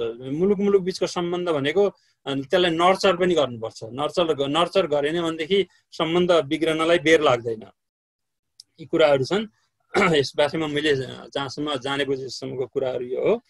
त्यसपछि रामज्योति पोखराजीले एक्सक्युज यो अब कन्स्टिट्युसनल गाइडलाइन्सले जहिले पनि अब नेपालको संविधानहरू जति पनि अहिले बने ती संविधानहरूमा खास गरिकन दुई हजार पन्ध्र सालको संविधान उन्नाइस सालको संविधान त्यसपछि दुई हजार सत्तालिस सालको संविधान त्यसपछि अन्तरिम संविधान त्यसपछि दुई हजार बहत्तर सालको संविधान यी सबै संविधानहरूमा राज्यका निर्देशक सिद्धान्त भनेर अन्तर्राष्ट्रिय सम्बन्ध चाहिँ राज्यले कसरी सञ्चालन गर्छ भन्ने कुरामा केही चाहिँ बेन्चमार्कहरू केही आधारहरू राखेको हुन्छ। पहिलेको पहिले पहिलेको संविधानहरूमा हेर्दाखेरि उहाँले रामज्योतिजीले उठाउनु पनि भएको छ पञ्चशील असंलग्न परराष्ट्र नीति अन्तर्राष्ट्रिय कानुनका मान्यता आदि इत्यादिमा रहेर मुलुकको सार्वभौम भौम सत्ता क्षेत्रीय अखण्डतालाई अक्षुण्य राख्दै राज्य सञ्चालन चाहिँ मुलुकले अन्तर्राष्ट्रिय सम्बन्ध सञ्चालन गर्नेछ राज्यले भन्ने कुराहरू मुख्य रूपमा उल्लेख भएको हुन्छ। अब पहिले पहिले अब विभिन्न पोलिसीहरू कतिपय अवस्थामा विभिन्न पोलिसीहरू नबनेको अवस्थामा चाहिँ काम गर्नको लागि अब एक प्रकारले कतिपय विषयमा चाहिँ एडहक तरिकाले पनि काम गर्नुपर्ने अवस्था थियो। एडहक भनेको के भने जस्तो अब परराष्ट्र मन्त्रालय त चाहिँ वैदेशिक नीति सञ्चालनको लागि परराष्ट्र मन्त्रालय चाहिँ नेपाल सरकारको एउटा चाहिँ केन्द्रीय निकाय हो। त्यो केन्द्रीय निकायबाट बेला बखतमा कुन इस्युमा के बोल्ने के गर्ने कुन मुलुकलाई चाहिँ एप्रोच गर्ने कसको समर्थन जुटाउने कुन कुन मुलुकसँग हामीले के कसरी सम्बन्ध अघि बढाउने आदि इत्यादि कुराहरूमा पटक पटक इस्यु हेरिकन परिपत्रहरू सरकारको निर्णयअनुसारका परिपत्रहरू र गाइडलाइन्सहरू बेला बेलामा जाने गर्थ्यो र ती गाइडलाइनहरू चाहिँ ले चाहिँ एक प्रकारले पोलिसी नबनेको अवस्थामा पनि इफेक्टिभली नै काम गरिरहेका थिए। अब रामज्योति बोहराजीले उठाउनु भएको अर्को छ एम्बेसडरहरूको पोलिटिकल एपोइन्टमेन्टको कुरो पनि उहाँले भन्नुभएको छ। निश्चय नै एम्बेसडरहरूको पोलिटिकल एपोइन्टमेन्ट गर्ने चलन अब नेपालले दुई हजार सात सालमा प्रजातन्त्रको प्राप्ति पश्चात चाहिँ एक प्रकारको वैदेशिक सम्बन्धमा गति लियो विभिन्न मुलुकहरूसँग कुटनीतिक दौत्य सम्बन्धहरू कायम गरियो र त्यो कायम गरिने क्रम चाहिँ बाह्र पन्ध्र वर्षसम्म आइसकेपछि त्यसले निकै तीव्र गति लियो र यस यस क्रममा चाहिँ अब समाजको विभिन्न क्षेत्रमा योगदान गरेका लब्ध प्रतिष्ठित व्यक्तिहरूलाई चाहिँ राज राजदूतको रूपमा नियुक्त गरेर पठाउने गरिन्थ्यो। र उहाँहरूलाई के भनेदेखि त्यसमा पुरानो पुरानो कुरा गरेर अब त अब अगाडि बढिँदैन भन्ने कुरा पनि एउटा आउन सक्ला। तर त्यो बेलाका हस्तीहरू जो नेपालको वैदेशिक नीति सञ्चालनका हस्तीहरूको नाम लिनु पर्दाखेरि हामी सरदार यदुनाथ खनाल सरदार भीमबहादुर पाण्डे यस्ता यस्ता हस्तीहरू थिए जस्तै अब त्योभन्दा अगाडि पनि चाहिँ सौभागजङ थापा भन्ने हुनुहुन्थ्यो जसले सन् उन्नाइस सय पचपन्नमा नयाँ दिल्लीमा अफ्रो एसियन कन्फरेन्समा नेपाली प्रतिनिधि मण्डलको नेतृत्व गर्नुभएको थियो। यस्ता यस्ता चाहिँ हस्तीहरूबाट नीति सञ्चालन हुँदै र त्यसको संस्थागत मेमोरी भनेर एउटा इन्स्टिट्युसनल मेमोरी भन्छ। त्यो इन्स्टिट्युसनल मेमोरी चाहिँ नर्मल्ली रेकर्ड अफ टक्स अथवा त्यस्तो हिसाबले चाहिँ संस्थामा राखिन्छ। त्यो बेलामा के भएको रहेछ हामीले के कुरा बोलिएको रहेछ हामीले के पोजिसन लिएको रहेछ त्यो सारा कुराहरू दर्शाउने गरी ती कुराहरू संस्थागत मेमोरीमा बस्छ र त्यो संस्थागत मेमोरीमा भएका कुराहरूलाई समय सापेक्ष सुधार गर्दै कतिपय कुराहरूलाई चाहिँ चाहिँ कतिपय कुराहरूलाई हामीले चेन्ज गर्न नमिल्ने पनि कुरा हुन सक्छन्। त्यसलाई पनि ध्यानमा राखेर चाहिँ गरिने गरिन्थ्यो र त्यस्तो मैले मेरो कार्यकालमा मैले जम्मा पाँचवटा मिसनहरूमा काम गरेँ। नयाँ दिल्ली वासिङटन मलेसिया कुवेत र फ्रान्स। ती पाँचवटा मुलुकहरूमा काम गर्दाखेरि त्यसमा अब क्यारियर एम्बेसडर पनि हुनुहुन्थ्यो र पोलिटिकल एपोइन्टेड एम्बेसडरहरू पनि हुनुहुन्थ्यो। तर जब पोलिटिकल एपोइन्टमेन्ट भएर चाहिँ गइसकेपछि त्यो एम्बेसडर चाहिँ एक प्रकारको शपथ लिएको हुन्छ उसले।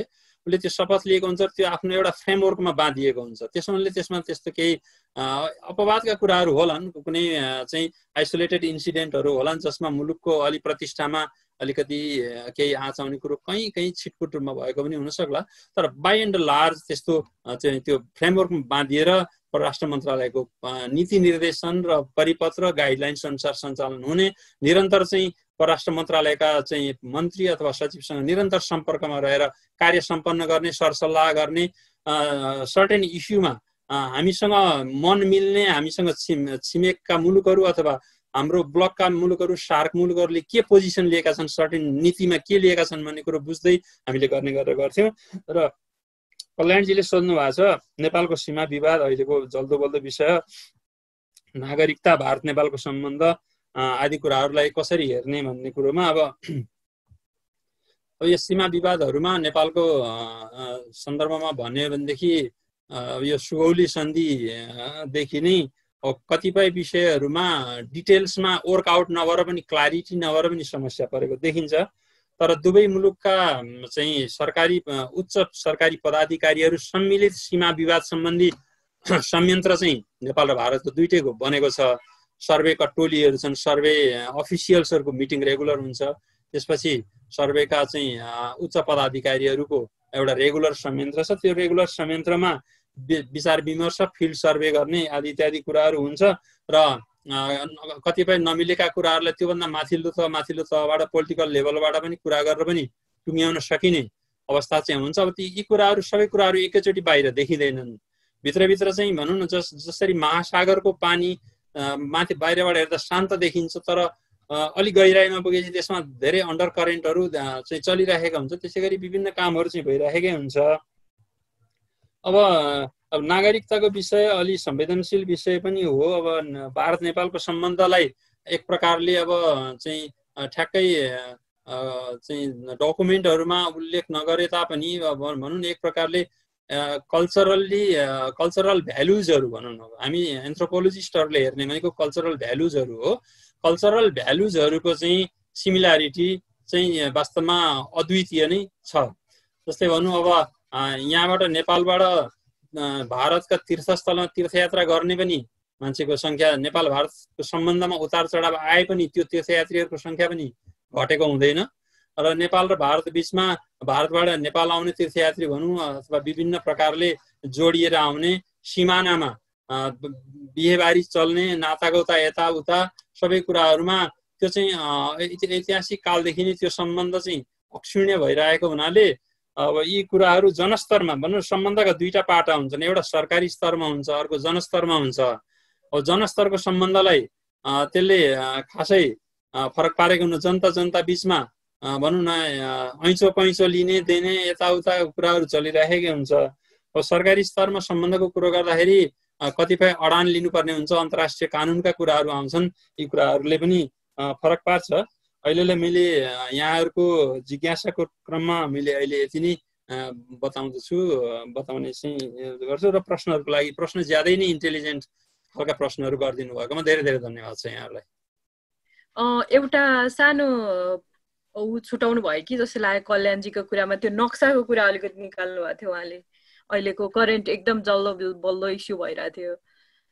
त्यसको अब अन्तर्राष्ट्रिय सम्बन्धको हिसाबले त्यो जति हाम्रो अब कसरी नक्साको कुरा ल्याइयो कुन कन्टेक्समा ल्याइयो र कतिखेर ल्याइयो भन्ने कुरासँगै अघि तपाईँले भन्नुभएको थियो जस्तो हाम्रो जुन मान्छे मान्छे बिचको त्यो जुन सम्बन्ध हुन्छ जस्तो देशले एउटा कुरा निर्धारण गरे पनि तर जनताहरूको माझमा जुन खालको सम्बन्ध पहिलेदेखि भइरहेको हुन्छ त्यो त त्यत्तिकै टुट्ने कुरा त होइन। अब त्यो नक्सासँगै त्यसको कुरा पनि गर अलिकति गर्न पाए हुन्थ्यो कल्याणजीको अर्को उसमा। अनि फेरि म एक राउन्ड क्वेसन लिन्छु। हजुर। अब नक्सा सम्बन्धी कुरोमा हेर्दाखेरि अब हामीले पनि अब अहिले मिडियामा धेरै कुराहरू पनि आइरहेका छन् र पुरानो कहिलेदेखि छुट्यो त्यो त्यो चुच्चे नक्सा कहिलेदेखि छुट्यो भन्ने कुरोमा पनि नयाँ नयाँ रहस्य घाट रहस्योद्घाटन भइरहेको छ।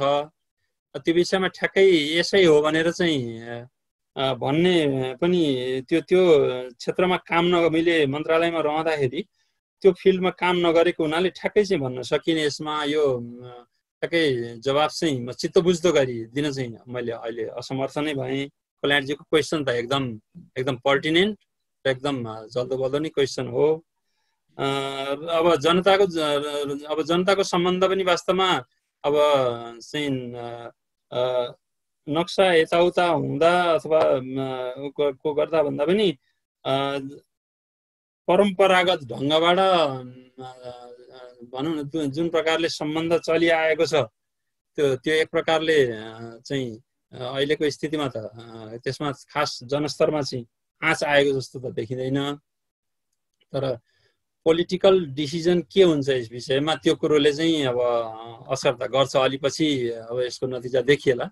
अहिलेलाई चाहिँ म यतिमै सायद सीमित हौँ होला। धन्यवाद। ठिक छ सर धन्यवाद अरू केही प्रश्न चाहिँ राकेशजीले एउटा प्रश्न सोध्नु भएको रहेछ च्याट बक्समा। What is your experience of international relation in the context of policy analysis and diplomatic relation भनेर सोध्नु भएको रहेछ। अनि सन्ध्याजीको पनि अलिकति म केही सेयर गर्न चाहन्छु नेपाल र इन्डियाको के अरे रिलेसन विथ इन्डिया भनेर।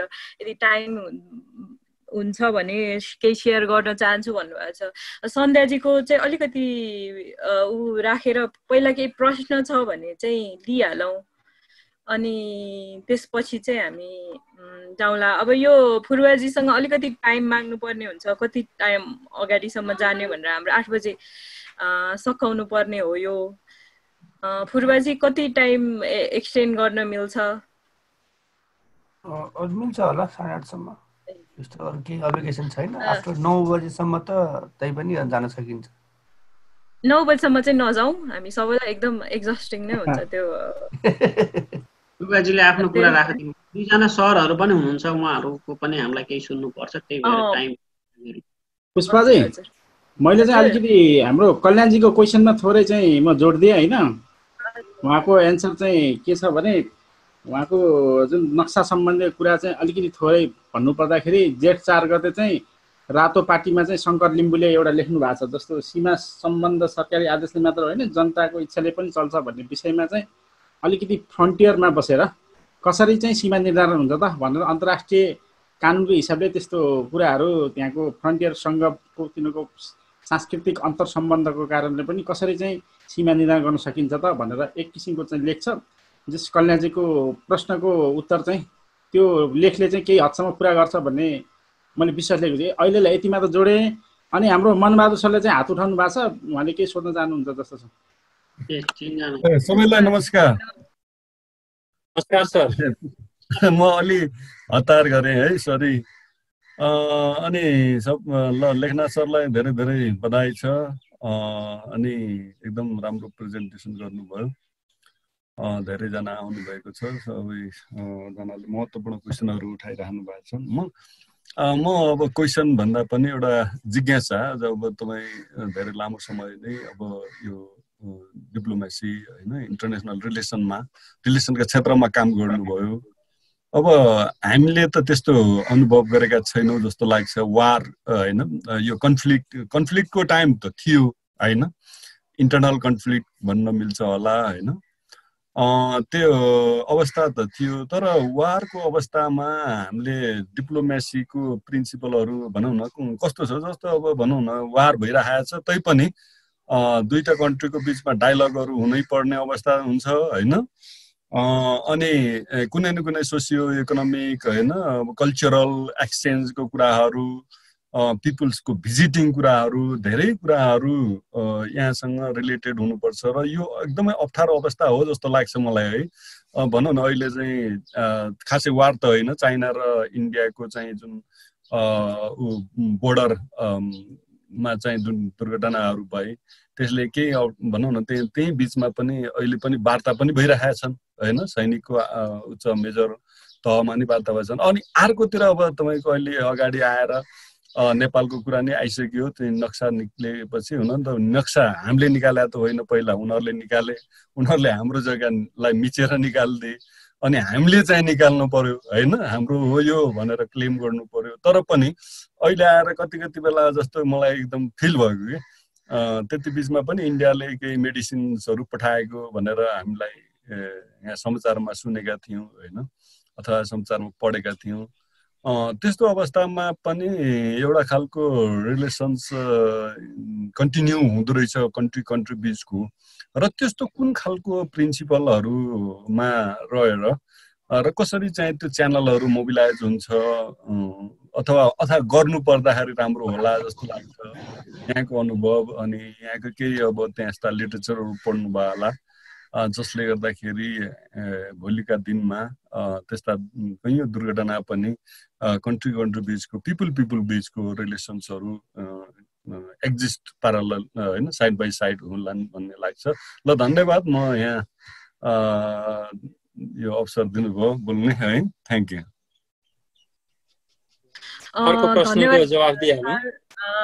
लेखजी सरको प्रश्नसँगै राकेशजीको चाहिँ what is your experience of international relation हुन्छ। म यो गाँसेरै गर्छु है त गरौँ अनि त्यसपछि हामी सन्ध्याजी र डम्बर सरको कुरा पनि सुन्छौँ। हजुर। मन सरले प्रश्न उठाउनु जिज्ञासा उठाउनु भएकोमा धेरै धेरै धन्यवाद। वास्तवमा डिप्लोमेसी अब diplomacy is a subset of international relations भनेर मैले अघि प्रस्तुतिको क्रममा भने। डिप्लोमेसीमा के हुन्छ भनेदेखि दुई तिनवटा दुई तिनवटा प्र्याक्टिसहरू प्राय गरेर राष्ट्रहरूको बिचमा हुन्छ। एउटा टिट फर ट्याट जस्तालाई तस्तै। अर्को रेसिप्रोसिटी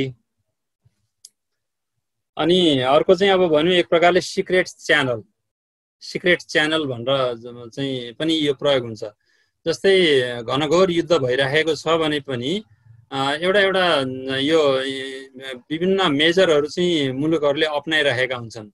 एउटा इङ्ग्लिसमा एउटा फ्रेज छ you don't burn the bridge burn B U R N जस्तै तपाईँले चाहिँ जस्तै कुनै दुई मुलुक बिचको सम्बन्ध बिग्रेको छ भन्नेमा त्यसलाई अब आर्की पार भत्ताभुङ्ग भन्ने हिसाबले हामी त्यो वार पार गर्ने पुल चाहिँ बाल्दैनौँ बाल्नु हुँदैन भन्ने चाहिँ एउटा एउटा सिद्धान्त भनौँ अथवा एउटा कार्यनीति। त्यो पनि प्रचलित छ। र शक्तिशाली राष्ट्रहरू बिचमा बिचको सम्बन्धमा के हुन्छ भनेदेखि टिट फर ट्याट पनि लागु हुन्छ। जस्तै चाइना र अमेरिका बिचमा जब डोनाल्ड ट्रम्पले चाइनिज आयातमा भारी रूपमा भन्सार दर बढाउने घोषणा गर्नुभयो त्यसपछि चाइनाले पनि म के कम भनेर उसले पनि टिट फर ट्याटको नीति अप्नाएर अमेरिकाका आयातमा उसले पनि त्यही अनुरूप चाहिँ गर्यो। अब यसलाई रेसिप्रोसिटी भनेर पनि बुझ्न सकिन्छ। रेसिप्रोसिटी भन्नाले अब उसले जे जति मात्रामा गरेको छ त्यही मात्रामा म पनि गर्छु भन्ने एउटा सिद्धान्त हो। यो डिप्लोमेसी इन्टरनेसनल रिलेसन सञ्चालनमा रेसिप्रोसिटीको पनि ठुलो महत्त्व हुन्छ। उदाहरणको लागि इस्लामाबादमा पाकिस्तानले पाँचजना इन्डियन डिप्लोमेटलाई देश निकाला गर्यो भने नयाँ दिल्लीमा भारत सरकारले पनि इस्लामाबादका पाँचजनालाई नै देश निकाला गर्छ। भने एक प्रकारले त्यो त्यो त्यो रेसिप्रोसिटी अथवा टिट फर ट्याटको त्यस्तो नीतिहरू उनीहरूले अवलम्बन गर्छन्। र त्यो अब राष्ट्रहरू बिचमा एक किसिमले अब त्यो मोर्गेन्थोले भनेको जस्तो रियालिजमको थियोरी अनुसार चाहिँ यो यो सारा दुनियाँ अनार्किक छ। अनार्किक किन छ भने अन्तर्राष्ट्रिय सम्बन्धमा कुनै पनि एउटा हायरार्किकल हायर अथोरिटी छैन जसले भनेको अरू सबैले मानुन् त्यस्तो अथोरिटी नै छैन। त्यसले गर्दा राष्ट्रहरू आफ्नै बलबुता इभेन्चुअली आफ्नै बलबुता बलबुता बुद्धि र एउटा ट्रिकबाट टिक्ने हो यो दुनियाँमा। त्यस्तो भयो हुनाले आफ्नो अस्तित्व कायम राख्न पनि चाहिँ त्यो त्यो अप्नाउनुपर्छ भन्ने गरिन्छ। चाइना र इन्डियाको चाहिँ जुन खालको झडपहरू जुन खालको देखियो त्यसमा पनि चाहिँ उनीहरूको बिचमा त्यो झडप भएर इन्डियातर्फको हताहतीको सङ्ख्या पनि मिडियामा आयो। त्यो आए तापनि उनीहरूको मिलिट्री कमान्डरहरू बसेर अथवा दुवै देशका फरेन मिनिस्टरहरूले पनि टेलिफोन वार्ता गरेर त्यो स्थितिलाई चाहिँ नियन्त्रणभन्दा बाहिर जान रोक्ने गरेको पनि त्यसरी देखिन्छ। यसरी यो चाहिँ अनगिन्ती बाटाहरू हुन्छन्। डिप्लोमेसी सञ्चालन गर्नको लागि अनगिन्ती बाटाहरू हुन्छन्। र ती अनगिन्ती बाटाहरूमध्ये कुन अप्सन चाहिँ चुज गर्ने कुन वे चाहिँ चुज गर्ने भन्ने कुरो त्यो मुलुकले आफ्नो चाहिँ विदेश नीति वर्तमान विश्व परिवेश छिमेकीहरूसँगको सम्बन्ध कस्तो छ ती सबै कुराहरूलाई एसेस गरेर ती सबै कुराहरूको मूल्याङ्कन गरेर चाहिँ गर्ने गर्दछ। अर्को चाहिँ अब राकेश चौधरीजीले सोध्नु भएको छ what is your experience of international relation in the context of policy analysis and diplomatic relationship अब पोलिसी एनालिसिस अब प्राय गरेर विदेश नीति सम्बन्धमा एउटा एउटा ब्रोड नीति संविधानले मार्गदर्शन गरेको एउटा ब्रोड नीतिको अन्तर्गत रहेर चाहिँ परराष्ट्र मन्त्रालयले बेला बखतमा राष्ट्रिय हित प्रतिकूल नहुने गरी राष्ट्रिय हितलाई प्रवर्धन गर्ने गरी समकालीन विश्व परिवेशमा के कस्ता राजनीतिक आर्थिक प्राविधिक सांस्कृतिक के कस्ता परिवर्तनहरू अगाडि आएका छन् ती कुराहरूलाई पनि आत्मसात गर्दै रिभाइज गर्ने अथवा गर्ने गरिन्छ। तर त्यो रिभिजन चाहिँ अब फरेन पोलिसीको रिभिजन भन्ने कुरो चाहिँ त्यति ज्यादै छिट छिटो चाहिँ हुने विषयवस्तु होइन। यसमा धेरैवटा एलिमेन्टहरू चाहिँ कन्टिन्युटी पनि हुन्छ। कन्टिन्युटी फरेन पोलिसीमा कन्टिन्युटी भनेर जुन हामीले भन्छौँ continuity and the change in foreign policy त्यसमा अब धेरै जसो एलिमेन्टहरू ट्रेडिसनल्ली लिएको हुन्छ। जस्तै अब हामीले चाहिँ छिमेकीलाई फेर्न सक्दैनौँ किनकि छिमेकी भनेको हाम्रा they are they are there since ancient times अब त्यो भनेर हामीले चाहिँ त्यही अनुसारको कसरी चाहिँ चाहिँ पिसफुल को एक्जिस्टेन्समा कसरी बस्न सकिन्छ भन्ने बारेमा विभिन्न उपायहरू खोजेर अवलम्बन गरेर गर्ने हो। र अब विभिन्न मिसनहरूमा आफ्नो चाहिँ मतलब विभिन्न कार्यक्षेत्रहरूमा खटिएर गर्दाखेरिको फङ्सनल एस्पेक्टमा हेर्दाखेरि नेपालले कुन नेपालले के भने कुन मुलुकसँग कस्तो खालको सम्बन्ध राख्ने? त्यो मुलुकका पोटेन्सियलहरू के के छन्? नेपाललाई त्यो मुलुकसँग सम्बन्ध राखेर राजनीतिक सम्बन्ध आर्थिक सम्बन्ध सांस्कृतिक सम्बन्ध सामाजिक सम्बन्ध के हुन्छ त्यो राखेर नेपालको राष्ट्रिय हितमा के कति योगदान पुग्न सक्छ? यी कुराहरूलाई चाहिँ बेला बेलामा रणनीति अथवा नीति अथवा रणनीतिहरू बनाएर परराष्ट्र मन्त्रालयले व्यापक छलफलद्वारा अहिले त अहिले त के छ भनेदेखि परराष्ट्र मन्त्रालयले निकै अगाडिदेखि नै यो प्रक्रिया अवलम्बन पनि गर्दै आएको छ मुलुकमा मुलुकका विगतमा परराष्ट्र मन्त्री हुनुभएका विभिन्न महानुभावहरू विभिन्न राजदूतहरू परराष्ट्र सचिवहरू त्यस्तै गरी थिङ्क ट्याङ्कहरू विभिन्न चाहिँ महानुभावहरूलाई बोलाएर र सांसदज्यूहरूलाई बोलाएर चाहिँ व्यापक अन्तर्क्रिया गरेर निचोड निष्कर्ष निकाल्ने सहभागितामूलक व्यवस्था पनि अवलम्बन गरेको छ र त्यसबाट बढीभन्दा बढी चाहिँ जनताको पार्टिसिपेसन भएको चाहिँ एक प्रकारले चाहिँ त्यो एउटा अनुभूत पनि हुन्छ र मुलुकको विदेश नीति भनेको वास्तवमा अन्तर्राष्ट्रिय जगतमा आफ्नो मुलुकको चाहिँ इज्जत प्रतिष्ठा बढाउन र मुलुकलाई आइपर्ने सम्भावित खतरा सम्भावित चुनौतीहरू सुरक्षा चुनौती हुनसक्छ अन्य चुनौतीहरू हुनसक्छ ती चुनौतीहरूलाई कसरी मुकाबिला गर्न सकिन्छ भन्ने बारेमा यसरी व्यापक रूपमा छलफल गर्ने गरिएको पाइन्छ। दुईवटा क्वेसनहरूको क्रममा चाहिँ मैले अब यति नै यति नै भने प्रश्नकर्ता महानुभावहरूलाई धेरै धेरै धन्यवाद। हजुर धन्यवाद लेखजी एकछिन अब एक राउन्ड एक राउन्ड विष्णुजी तपाईँको विष्णु तपाईँ तपाईँको माइक गर्नुहोस्। धन्यवाद। एक राउन्ड क्वेसन मात्र लिन्छु। अरू कोही हुनुहुन्छ? ताराजी बाहेक। अरू कोही हुनुहुन्छ? प्रश्न सोध्न मन लागेको ताराजीलाई बाहेक। ताराजी तपाईँको प्रश्न छोटोमा राख्नु है अनि सन्ध्याजीलाई चाहिँ सरी मैले टाइम यसरी नै एलोकेट गर्छु। माइन्ड नगर्नु होला अनि सन्ध्याजीलाई चाहिँ दुई मिनट त्यसमा हामी उहाँको केही रिफ्लेक्सन्सहरू छ त्यो भन्न दिन्छौँ अनि त्यसपछि चाहिँ बल्ल अनि हामी डम्बरसम्म आउँछौँ ताराजी तपाईँको प्रश्न एकदम छोटोमा राख्नु होला अलिक ठुलो स्वरले बोल्नु भयो भने चाहिँ अलिक सानो मसिनो स्वर आएको छ यो के? मेरो चाहिँ प्रश्न होइन यो बारेमा अलिकति आफू जानकार रहेको कुरा गरिदिन्छु है भनेको के? अहिलेको यो अन्तिमको कल्याणजीको कुरामा एउटा यो नागरिकताको र एउटा यो नेपालको नक्साको बारेमा छ नि। त्यसो भए तपाईँलाई म डेढ मिनट मात्रै दिन्छु ल ताराजी बोल्नुहोस्। ल हुन्छ। एउटा यो नागरिकताको विषय छ यो रोटी बेटीको भन्ने कुरा चाहिँ के छ भने नि अहिले यो नेपालतिर मात्रै खोजिएको छ क्या। नागरिकता पाउँदाखेरि नेपालीले अरू अन्तर्राष्ट्रिय जगतमा कसरी पाइरहेका छन् भन्ने कुरा चाहिँ नेपालमा हेरिएको छैन है। अनि यो अहिले त यो नेकपाले काङ्ग्रेसले बाधा गर्यो उसले बाधा गर्यो भने यो नेकपाले गर्न चाहन्थ्यो भने दुई तिहाईको सरकार थियो उसको आफू एक्लै गर्थ्यो। तर के हो भने यो सबै इन्डियाले हल्लाएको कुरा हो कि? इन्डियामा नेपाली चेलीहरू जाँदा बल्ल सात वर्षपछि नागरिकताको प्रोसेस सुरु गरिन्छ। चौध वर्षमा मात्रै पाउँदो रहेछन् होइन? अनि भुटानमा भुटानमा नागरिकता पाउनका लागि विदेशी नागरिकले उसको देशको नागरिकसँग बिहे गर्दाखेरि पनि छोराछोरी जन्मेर उसको बिहे गर्नु उसको बिहे गरेको हुनुपर्छ। अनि मात्रै बाबुआमाले पाउँछ। अनि मालदिप्समा छोराछोरीको बिहे गरेपछि पनि उल मुस्लिम हुनैपर्छ नागरिकता पाउनका लागि। अनि नेपाल चाहिँ यस्तो खिचडी कि त्यही यहाँबाट इन्डिया जाँदा इन्डियामा नेपालीले नपाउने नागरिकता इन्डियन यहाँ आउने बित्तिकै रोटीबेटी रोटीबेटी एक कुरो मात्रै हुँदैन नि। हो यसमा यस्ता कुरामा चाहिँ हामी एन्थ्रोपोलोजीका विद्यार्थी अर्थात् स्कलर एन्थ्रोपोलोजिस्टहरूले के रोल खेल्ने? हो यो एउटा हामीले सोच्नुपर्छ। किनभने यस्तो बर गतिमा नागरिकता बाँडियो भने भोलि हाम्रो यो एउटा रोजगारको मात्रै सरोकार हुँदैन के? राष्ट्रियतालाई पनि कति खतरा पर्छ? हिजोको सरितागिरीको एक्सप्रेसनले थाहा भइहालेको छ।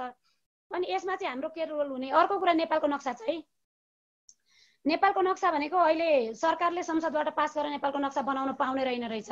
अघि यो इन्टरनेसनल रिलेसनको कुरा गर्दै गर्दाखेरि लेखनाथ सरले टिट फर ट्याट भन्नुभएको थियो। टिट फर ट्याटमा चाहिँ इन्डियाले नक्सा बनाएर हामीले बनायौँ भन्ने विषयवस्तु यो होइन। किनभने अलरेडी हाम्रो जमिन हो यो।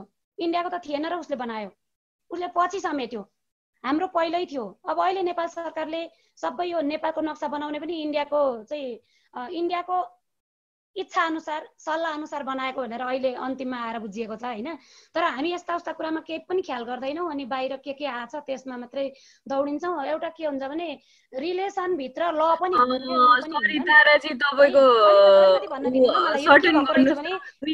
थोरै थोरै पर्खिनु है बुझ्नुपर्छ क्या यस्ता कुरा। यसमा हाम्रो रोल के हुने भन्ने पनि यतातिर चाहिँ हामीले ध्यान दिनुपर्छ कि। जस्तै पहिले नेपालको नक्सा हाम्रो रोलको कुरा ठिक छ तर टाइम लिमिटमा बोलौँ ल। ल ल इम्पोर्टेन्ट कुरा छ क्या। नेपालको नक्सा हटाउँदाखेरि पहिले संसदबाट हटाइएको थिएन। विधिपूर्वक हटाइएको पनि थिएन है। र नेपालको नक्सामा सैतिस सालसम्म तिरो उठाएको भनेर त्यहाँको सिडिओ बोलिसकेका छन्। अनि नक्सा बनाउँदाखेरि हरेक पटक राज्यले नक्सा बनाउँदाखेरि राज्यको पुनर्संरचना भएको बेलामा विधिवत रूपले नक्सा परिवर्तन गरिन्छ। तर अहिले राज्यको पुनर्संरचना पनि भएको छैन। र यो नेपालको नक्सामा दार्चुला जिल्लाबाट त्यो तिनवटा गाउँलाई हटाएको भनेको कहिले छ भन्नुहुन्छ भने गिरिजा प्रसाद प्रधानमन्त्री भएको बेलामा नेपालमा यो सन्ताउन्नवटा नगरपालिका कहिले बनाइयो त्यो बेलामा ती ठाउँ हालिएको छैन नेपालको नक्सामा। त्योभन्दा अगाडि चाहिँ पञ्चायती व्यवस्थामा दार्चुला जिल्लाभित्र महाकाली नदी पल्लै छेउसम्म देखिएको छ। त्यो स्क्रिनसट गरेर पनि राखेको छ अहिले। त्यो चाहिँ एउटा एकैछिन ल सरी मैले तपाईँलाई रोक्नुपर्छ किनभने टाइम गइसक्यो यसको लागि छुट्टै एउटा वेबिनार गर्नुपर्छ जसमा ताराजीलाई चाहिँ स्पिकर राख्नुपर्छ। मैले तपाईँलाई उ गर्न यसपालि काठमाडौँ हालेर हामीले ल्यायौँ भने जस्तो गरिएछ। यो गर्नु हुने रहेनछ। जस्तै तपाईँको जमिन मिचिएको छ छिमेकीबाट भने अहिले नेपाल मालपतमा गएर नक्सा बनाएर होइन हजुरबाबुको पालोको नक्सा बनाएर चाहिँ हाम्रो जमिन भनेर दाबी गर्नु पर्नेमा उसले पहिले बाटो बनायो। बाटो बनाएपछि हामीले नक्सामा हालेर अनि त्यो जमिन मेरामा पर्यो भन्न नपाउने रहेछ। अन्तर्राष्ट्रिय अदालतमा जाँदाखेरि यो अहिले केपी ओली सरकारले धेरै अप्ठ्यारो पारिदिएको रहेछ किनभने दुई हजार उन्नाइससम्म तेरो जमिनै थिएन त्यो बिचमा पो हालिस् त भनेर उसले प्रश्न ठडाइदिन्छौँ बनाएको रहेछ। यस्ता कुरा चाहिँ सचेतौँ र हाम्रो रोल के हुन्छ? यो चाहिँ सोध्छु कि म? ए ल तपाईँको लास्टमा प्रश्न पनि रहेछ लामै गयो प्रश्न। अब सन्ध्याजीको सानो टिप्पणी भन्नुभएको छ सन्ध्याजी तपाईँ टाइम लिमिटमा गर्नु होला है मलाई अलि आर्ट्स हुनु पर्यो भने आइएम भेरी भेरी सरी होइन ठिक छ। मोडरेटरमा गर्दा मोडरेसन गर्दाखेरि च्यालेन्जहरू खप्नुपर्छ। मैले अघि चाहिँ नि लार्ज मैले बुझ्न खोजेको भयो। अहिले मैले दोहोर दोहोऱ्याएर समय दिएकोमा म धन्यवाद पनि दिन चाहन्छु। र मैले दुईवटा कुरा उठाउन खोजेको चाहिँ अब यो यो रोटी बेटी भन्ने शब्द नै किन चाहिँ रोटी बोटी बेटी अनि त्यसपछि गएर नेताहरूले त्यहाँ न्युज पढ्दा न्युजमा सुन्दाखेरि बुहारीहरूलाई दिने नागरिकता भन्ने किन शब्दहरू प्रयोग गरिन्छ? अरू देशबाट आउने ले बिहे गर्ने ठाउँमा किन चाहिने बुहारी रोटी बेटी के अरे बेटीको कुरो आउँदैन छोरी बुहारी भनिँदैन। किन इन्डियालाई भनिन्छ? एउटा चाहिँ क्वेसन आउने कुरा एउटा होइन? अनि नागरिकताको कुरा गर्दा जहिले पनि किन महिलाको यो रोटी बेटी बुहारीकै कुरा मात्रै उठ्छ? के छोरा मान्छेहरूको नागरिकताको कुरा के केटा मान्छे नेपालमा विदेशी पुरुषहरू नागरिकता लिएर बसेका छैनन् र अथवा बस्न आउन सक्दैनन् र अथवा बिहे गरेर उनीहरूले सिफ्ट गर्न सक्दैनन् र भन्ने कुराहरू चाहिँ अलिकति हामीले त्यो पोइन्टबाट पनि हेर्नुपर्छ कि भन्ने एउटा कुरा। अर्को यो चाहिँ जोड्दै गर्दा यो किनसिप म्यारिज जुन एउटा एज ए इन्स्टिट्युसन त्यो कुरा गर्दाखेरि त्यो इन्स्टिट्युसनभित्र बसेर अनि हाम्रो यो जुन प्याट्रिकल थिङ्किङमा जुन गाइडेड भएको छ अनि त्यो त्यो किनसिप र त्यो यो म्यारिज एज इन्स्टिट्युसनलाई लिमिट गरेर यो शब्दहरू आइराखेको हो कि भन्ने कुराहरू चाहिँ हो। र त्यहीसँग जोड्दाखेरि एउटा मैले त्यो हाइलाइट गर्न खोजेको कुरा त्यो भयो। र अर्को भनेको चाहिँ नि यो यो नक्साको कुरा पनि आयो नि। र नक्साको कुरा गर्दाखेरि पनि किन अहिले यो लिम्पियाधुरा लिपुलेका जस्ता कुराहरूको नक्सै चेन्ज गरेर आउने? अर्को चाहिँ नि अरू ठाउँमा पनि सीमा चाहिँ नि मिचिरहेछ भनेर आइरहेको छ कुरा बेला बेला हामी सुनिरहेछौँ।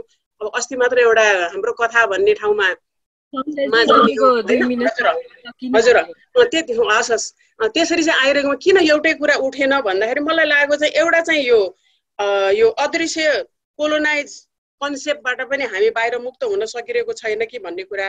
अर्को चाहिँ प्याट्रियार्कल चाहिँ जुन थिङ्किङ छ त्यहाँ त्यसले गाइडेड भएको कुरा र अर्को पावर रिलेसनको कुराहरू। पावर रिलेसन कुरा गर्दाखेरि चाहिँ नि र यो अहिले नक्साको कुरा उठाउँदाखेरि पनि यो एज अ स्ट्राटेजी जुन रिलेसनको कुरा गर्दा एकैचोटि धेरै कुरा उठाउँदाखेरि हामी त सानो देश हामी डोमिनेटेड छौँ हरेक कुराहरू नेता उता गएर सोधेर शासन चलाउने कल्चर भएको हुनाले त्यसले काम गरिरहेछ। हजुर यति नै भन्न चाहन्छु म। यो कुराहरू चाहिँ अलिकति एनालाइसिस गर्नुपर्ने हो कि भन्ने मात्रै उठाउनु खोजे हो। हस्। धन्यवाद। अब के गरौँ? यसको एकदम सानोमा कमेन्ट गर्न एक मिनटमा कमेन्ट गर्न सकिन्छ लेखजी। दुईटा हाम्रो ताराजीको र सदाजीको कुरालाई अलिकति उ गरेर एक मिनटमा सकाउँ अनि हामी सरतिर जान्छौँ। हजुर यसमा अब वास्तवमा यो तारा म्याडम र सन्ध्या म्याडमले उठाउनु भएका जुन विषयहरू छन् यी विषयहरू नेपालको लागि अति नै अति नै संवेदनशील। अति नै संवेदनशील विषयहरू हुन्। अब जहाँसम्म अब रोटी बेटीको सम्बन्ध अथवा बुहारीलाई नागरिकता जस्ता यी कुराहरू छन् रोटी बेटीको सम्बन्ध भन्ने टर्म चाहिँ वास्तवमा यो इमोसनल अपिलको लागि चाहिँ निकालिया शब्द जस्तो लाग्छ मलाई। दुवै मुलुक बिचको चाहिँ अन्योन्याश्रित सम्बन्धलाई चाहिँ पपुलराइज गराउन निकालेको टर्म हो यो जस्तो देखिन्छ यो जहाँ पनि मिडियामा पनि यही शब्द देखिन्छ नेताहरूको भाषणमा पनि यही शब्द देखिन्छ। तर अब गभर्मेन्टले प्रयोग गर्ने डकुमेन्टहरूमा चाहिँ यो शब्द राखिँदैन। तर यो चाहिँ इमोसनल अपिल भावनाले त्यही त्यस्तै त्यस्तै फिल्डमा यो शब्दको बढी युज गरिन्छ र यी यी विषयहरूमा वास्तवमा गहिरो गरी एनालिसिस गर्नुपर्छ भन्नु सन्ध्या म्याडमले भन्नुभएको छ तारा म्याडमले भन्नुभएको छ। यो कुरासँग म सहमत छु। धेरै नै धेरै नै इम्पोर्टेन्ट कुराहरू हो यो। र हामी अब एज एज इन्टेलेक्चुअल्स ले यो विषयमा चाहिँ अब एन्थ्रोपोलोजीलाई पनि जोडेर अब यो कल्चर पनि गाँसिएको विषय हो र जोडेर चाहिँ एनालिसिस गरिरहनु पर्ने देखिन्छ। जस्तै भनौँ अब हामीले हामीले हेर्ने भनेको कल्चरसँग गाँसेर हेर्ने विषय हो र अरू प्योरली पोलिटिकल विषयहरूलाई उठाउने थिङ्क ट्याङ्कहरू र विभिन्न सङ्घ संस्थाहरू पनि हुन्छन्। यसरी एनालिसिस चाहिँ बेला बेलामा विभिन्न नयाँ नयाँ तथ्यहरू जुन आइरहेका छन् त्यसको आधारमा समय सापेक्ष ढङ्गबाट गर्नुपर्ने जरुरी देखिन्छ। त्यो उहाँहरूले उठाउनु भएको विषय चाहिँ जायज छ जायज देखिन्छ। मेरो सानो कमेन्ट यति नै हो। धन्यवाद। धन्यवाद लेख्ची अब हामी लगभग सकाउँछौँ होला। अब हाम्रो हाम्रो डम्बर सरको केही कमेन्ट्सहरू अथवा यो यो कमेन्ट्स चाहिँ विषयमा मात्र होइन सेसनमा पनि गर्न सकिन्छ। सर अप टु धन्यवाद पुष्पा। बडा गजबको प्रेजेन्टेसन लाग्यो। It was like like learning from a class तपाईँको यो टिचिङ मोडालिटीमा आएको प्रेजेन्टेसन गजबको लाग्यो मलाई लेखनाथजी। मैले सधैँ मेरो आफ्नो फिगमेन्ट्स फ्रम माई माइन्ड पनि हुनसक्छ मनको तर्कना। मैले सधैँ यो राज्य र राष्ट्र भन्ने स्टेट र नेसन भन्ने कुरा चाहिँ करिब करिब छुट्याउन खोज्छु state has a the meaning of state has its background its foundation in bureaucracy and bureaucratic uh, mechanism. Whereas the nation, the meaning of nation has its background and foundation in cultural and social and historical and political roots. तर हामी eighteen century nineteen सेन्चुरीमा गयौँ भने युरोपमा एउटा भाषा बोक्ने एउटा भाषा बोल्नेहरू खास गरेर भाषिक सिमिल्यारिटीको आधारमा you find the history of making of the states uh, based on the national linguistic unity. Germany त्यसरी बनेको छ। अघि त्यो युरोपको ठुल्ठुलो स्टेट्सहरू त्यसरी बनेको छ। फ्रान्स त्यसरी बनेको छ। फ्रेन्च स्टेट सो अब कालान्तरमा आउँदाखेरि कस्तो भयो भने युनाइटेड स्टेट्स अफ अमेरिका भन्दाखेरि पनि वास्तवमा it was not United States of America it was actually United Nations of America thirteen different cultural नेसन्सहरू मिलेर युनाइटेड स्टेट्स भनेर भएर बनेको। त्यो पहिला तेह्रवटा थियो। तेह्रवटा मात्रै धर्का थियो पहिला। सो अहिले पनि हामी त्यो नेसन र स्टेट भन्ने कुरालाई एकदम मिसाएर ल्याउँदाखेरि अहिलेको चाहिँ ग्लोबल पोलिटिकल ट्रोप्सहरू ग्लोबल पोलिटिकल कन्टेक्स्टहरूले अहिले चाहिँ हामीलाई state dash nation dash state नलेख कि nation or state state or nation state and nation nation nation and state लेख भनेर अहिलेको पोलिटिक्सले भन्छ। किन हामी we are now in the context of multinations state नेपालमा स्वीकार गरे पनि नगरे पनि हामीले मल्टिकल्चरलिजममा मल्टी नेसन्स कन्टेक्स्टमा कुरा गर्दाखेरि अहिले चाहिँ नेसन ड्यास स्टेट भन्ने कुरा चाहिँ अलि अब्सोलिट भयो भन्ने छ। इन्टरनेसनल रिलेसन्स पढ्नेहरूले यो लेभलमा पढिराखेको चाहिँ देखिँदैन। अनि नेपालमा चाहिँ हिजो मात्रै एउटा हिमाल खबरमा एउटा हिजो आयो कि कहिले आयो? हिजो सेयर भइराखेको छ सुम्निमा उदासको ग्यास लाइटिङ भन्ने शब्द त्यहाँ प्रयोग भएको छ। हेर्नुभयो भने हुन्छ। हाम्रोमा चाहिँ एक खालको भनौँ न सीमाको कुरा आयो राष्ट्रवाद भन्यो। फेरि हिजस्ती नागरिकताको कुरो ल्यायो राष्ट्रवाद भन्यो।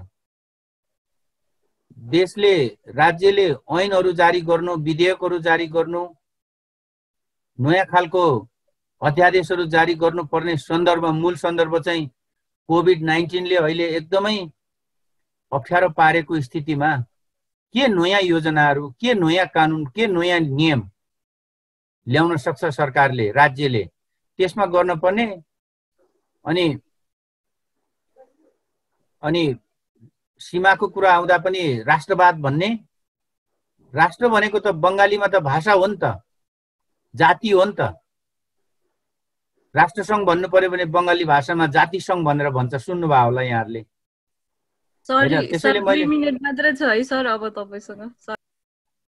मैले पोलिटिकल्ली संयुक्त राष्ट्र सङ्घ होइन कि वास्तवमा संयुक्त राष्ट्र युनाइट युनाइटेड नेसन्स अर्गनाइजेसन चाहिँ युनाइटेड स्टेट्स अर्गनाइजेसन हो। युनाइटेड स्टेट्स अफ अमेरिका चाहिँ युनाइटेड नेसन्स अफ अमेरिका हो। त्यो सबै आएर सङ्घ बनाएर स्टेट बनाएको स्थिति। यहाँ हाम्रोमा चाहिँ एकदम ग्यास लाइटिङ गर्ने एक खालको भ्रम सिर्जना गरेर त्योभित्र मान्छेहरूलाई शासन गर्ने नियन्त्रण गर्ने खालको प्रवृत्ति छ। यहाँको प्रेजेन्टेसनमा पनि त्यो नेसनल इन्ट्रेस्ट बार बार आइराखेको छ र अनि त्यो नेसनल इन्ट्रेस्टबाट नेसनललाई नेसनलिजम बनाएको छ। त्यहाँ चाहिँ मिस्टेक भयो जस्तो लाग्छ। It is about national interest. National interest नै हुनुपर्ने हो। त्यसैमा लिमिटेड हुनुपर्ने हो होइन? यो राष्ट्रवाद सीमाको सम्बन्धमा मधुरमन आचार्यजीले ट्विट गर्नुभएको छ।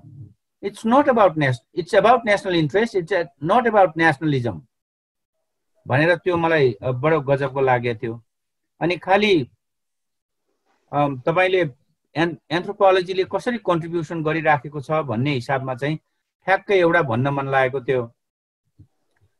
अहिले रेफ्युजी प्रब्लम रेफ्युजी इस्यु चाहिँ ठुलो डिल गर्नुपर्ने प्रब्लम हो। त्यसमा पनि एन्थ्रोपोलोजीको चाहिँ एकदमै महत्त्वपूर्ण अध्ययनहरू किन?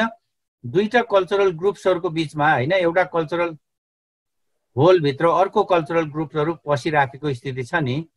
त्यसैले रेफ्युजी इस्युहरूमा चाहिँ एन्थ्रोपोलोजीले इन्टरनेसनल रिलेसन्सलाई सघाउने कुरामा एकदम धेरै चाहिँ एन्थ्रोपोलोजीले सघाउँछ जस्तो लाग्छ।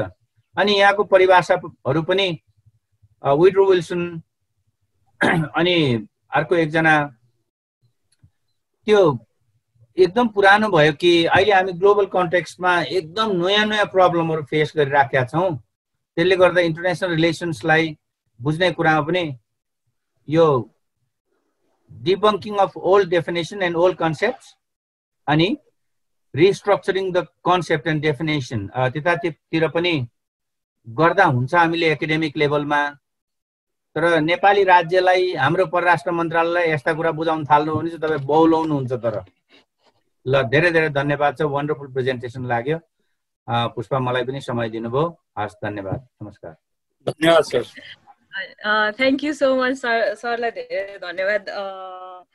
न ऊ एकदम के भन्छ स्टेट र नेसनको कुरादेखि bureaucracy culture social historical political रुट्सको कुरादेखि लिएर अनि एन्थ्रोपोलोजिकल हिसाबमा चाहिँ अहिलेको कन्टेक्समा रिफ्युजीदेखि अनि जुन हाम्रो इन्टरनेसनल रिलेसनको पुरानो कन्सेप्टहरू छ त्यसलाई कसरी डिब डिबङ्किङ गर्नुपर्छ अब भनेर सरले मजाले नयाँ इन्साइट्सहरू दिनुभयो। अब चाहिँ सेसन सघाउनु पर्छ जस्तो लाग्छ मलाई। लेखजीको केही छ भन्नु भने एकदम आधा मिनट मात्रै दिन्छु सरी केही छ लेखजी लास्टमा हजुर हजुर धेरै धेरै धन्यवाद। यो यो सिरिजमा यो मेरो पहिलो प्रेजेन्टेसन हो र यो प्रेजेन्टेसनको मौका जुराइदिनु भएकोमा। विष्णु गुरुङजी पुष्प पौडेलजी र अरू सबै साथीहरूलाई धेरै धेरै धन्यवाद। म धेरै धेरै आभारी छु। र आजको सेसनमा चाहिँ छ पैँतालिसको समय भने त वास्तवमा निन्द्रा माया मार्दै उठेर तयार हुने समय हो। त्यो समयमा पनि सरहरू आदरणीय सरहरू तथा सबै साथीहरू झट्टझुट्ट तयार भएर जागरुक भएर फ्रेस भएर यो सेसनमा आइदिनु भएकोमा पनि म ज्यादै नै अनुग्रहित छु। र जे जति मैले एक्सप्लेन गर्न सकेँ र जे जति कमी कमजोरी रह्यो त्यो कमी कमजोरी मेरै हो। म थप यसमा अध्ययन गर्नेछु र सरहरूले र यहाँ साथीहरूले औल्याउनु भएका इस्युहरूमा आफूलाई अझ अपडेट राख्ने प्रयत्न गर्नेछु र त्यो औँल्याइदिनु भएकोमा पनि धेरै धेरै धन्यवाद छ लेखजी धन्यवाद सबै हाम्रो क्लासमेट साथीहरू र सर सरहरूलाई धन्यवाद यो सेसन अटेन्ड गरिदिनु भएकोमा। अनि हाम्रो ठ्याक्क साढे आठमा सकिने भयो। अब मेरो एउटै कुरा चाहिँ अबदेखि हामीले बोल्दाखेरि टाइम लिमिटमा बोल्ने गरौँ त्यस्तै बानी बसालौँ जसले गर्दाखेरि हामी अलिक धेरै एक्जस्टेड नहौँ। एकजनाको मात्र बोली सुनेर। मेरो चाहिँ त्यही ऊ मात्रै छ। सबैजना आइदिनु भएकोमा धेरै धेरै धन्यवाद। अर्कोचोटिको सेसन चाहिँ के हुन्छ भनेर हामी इन्फर्मेसनहरू सर्कुलेट गर्छौँ। थ्याङ्क यू सो मच धेरै धेरै धन्यवाद। धन्यवाद।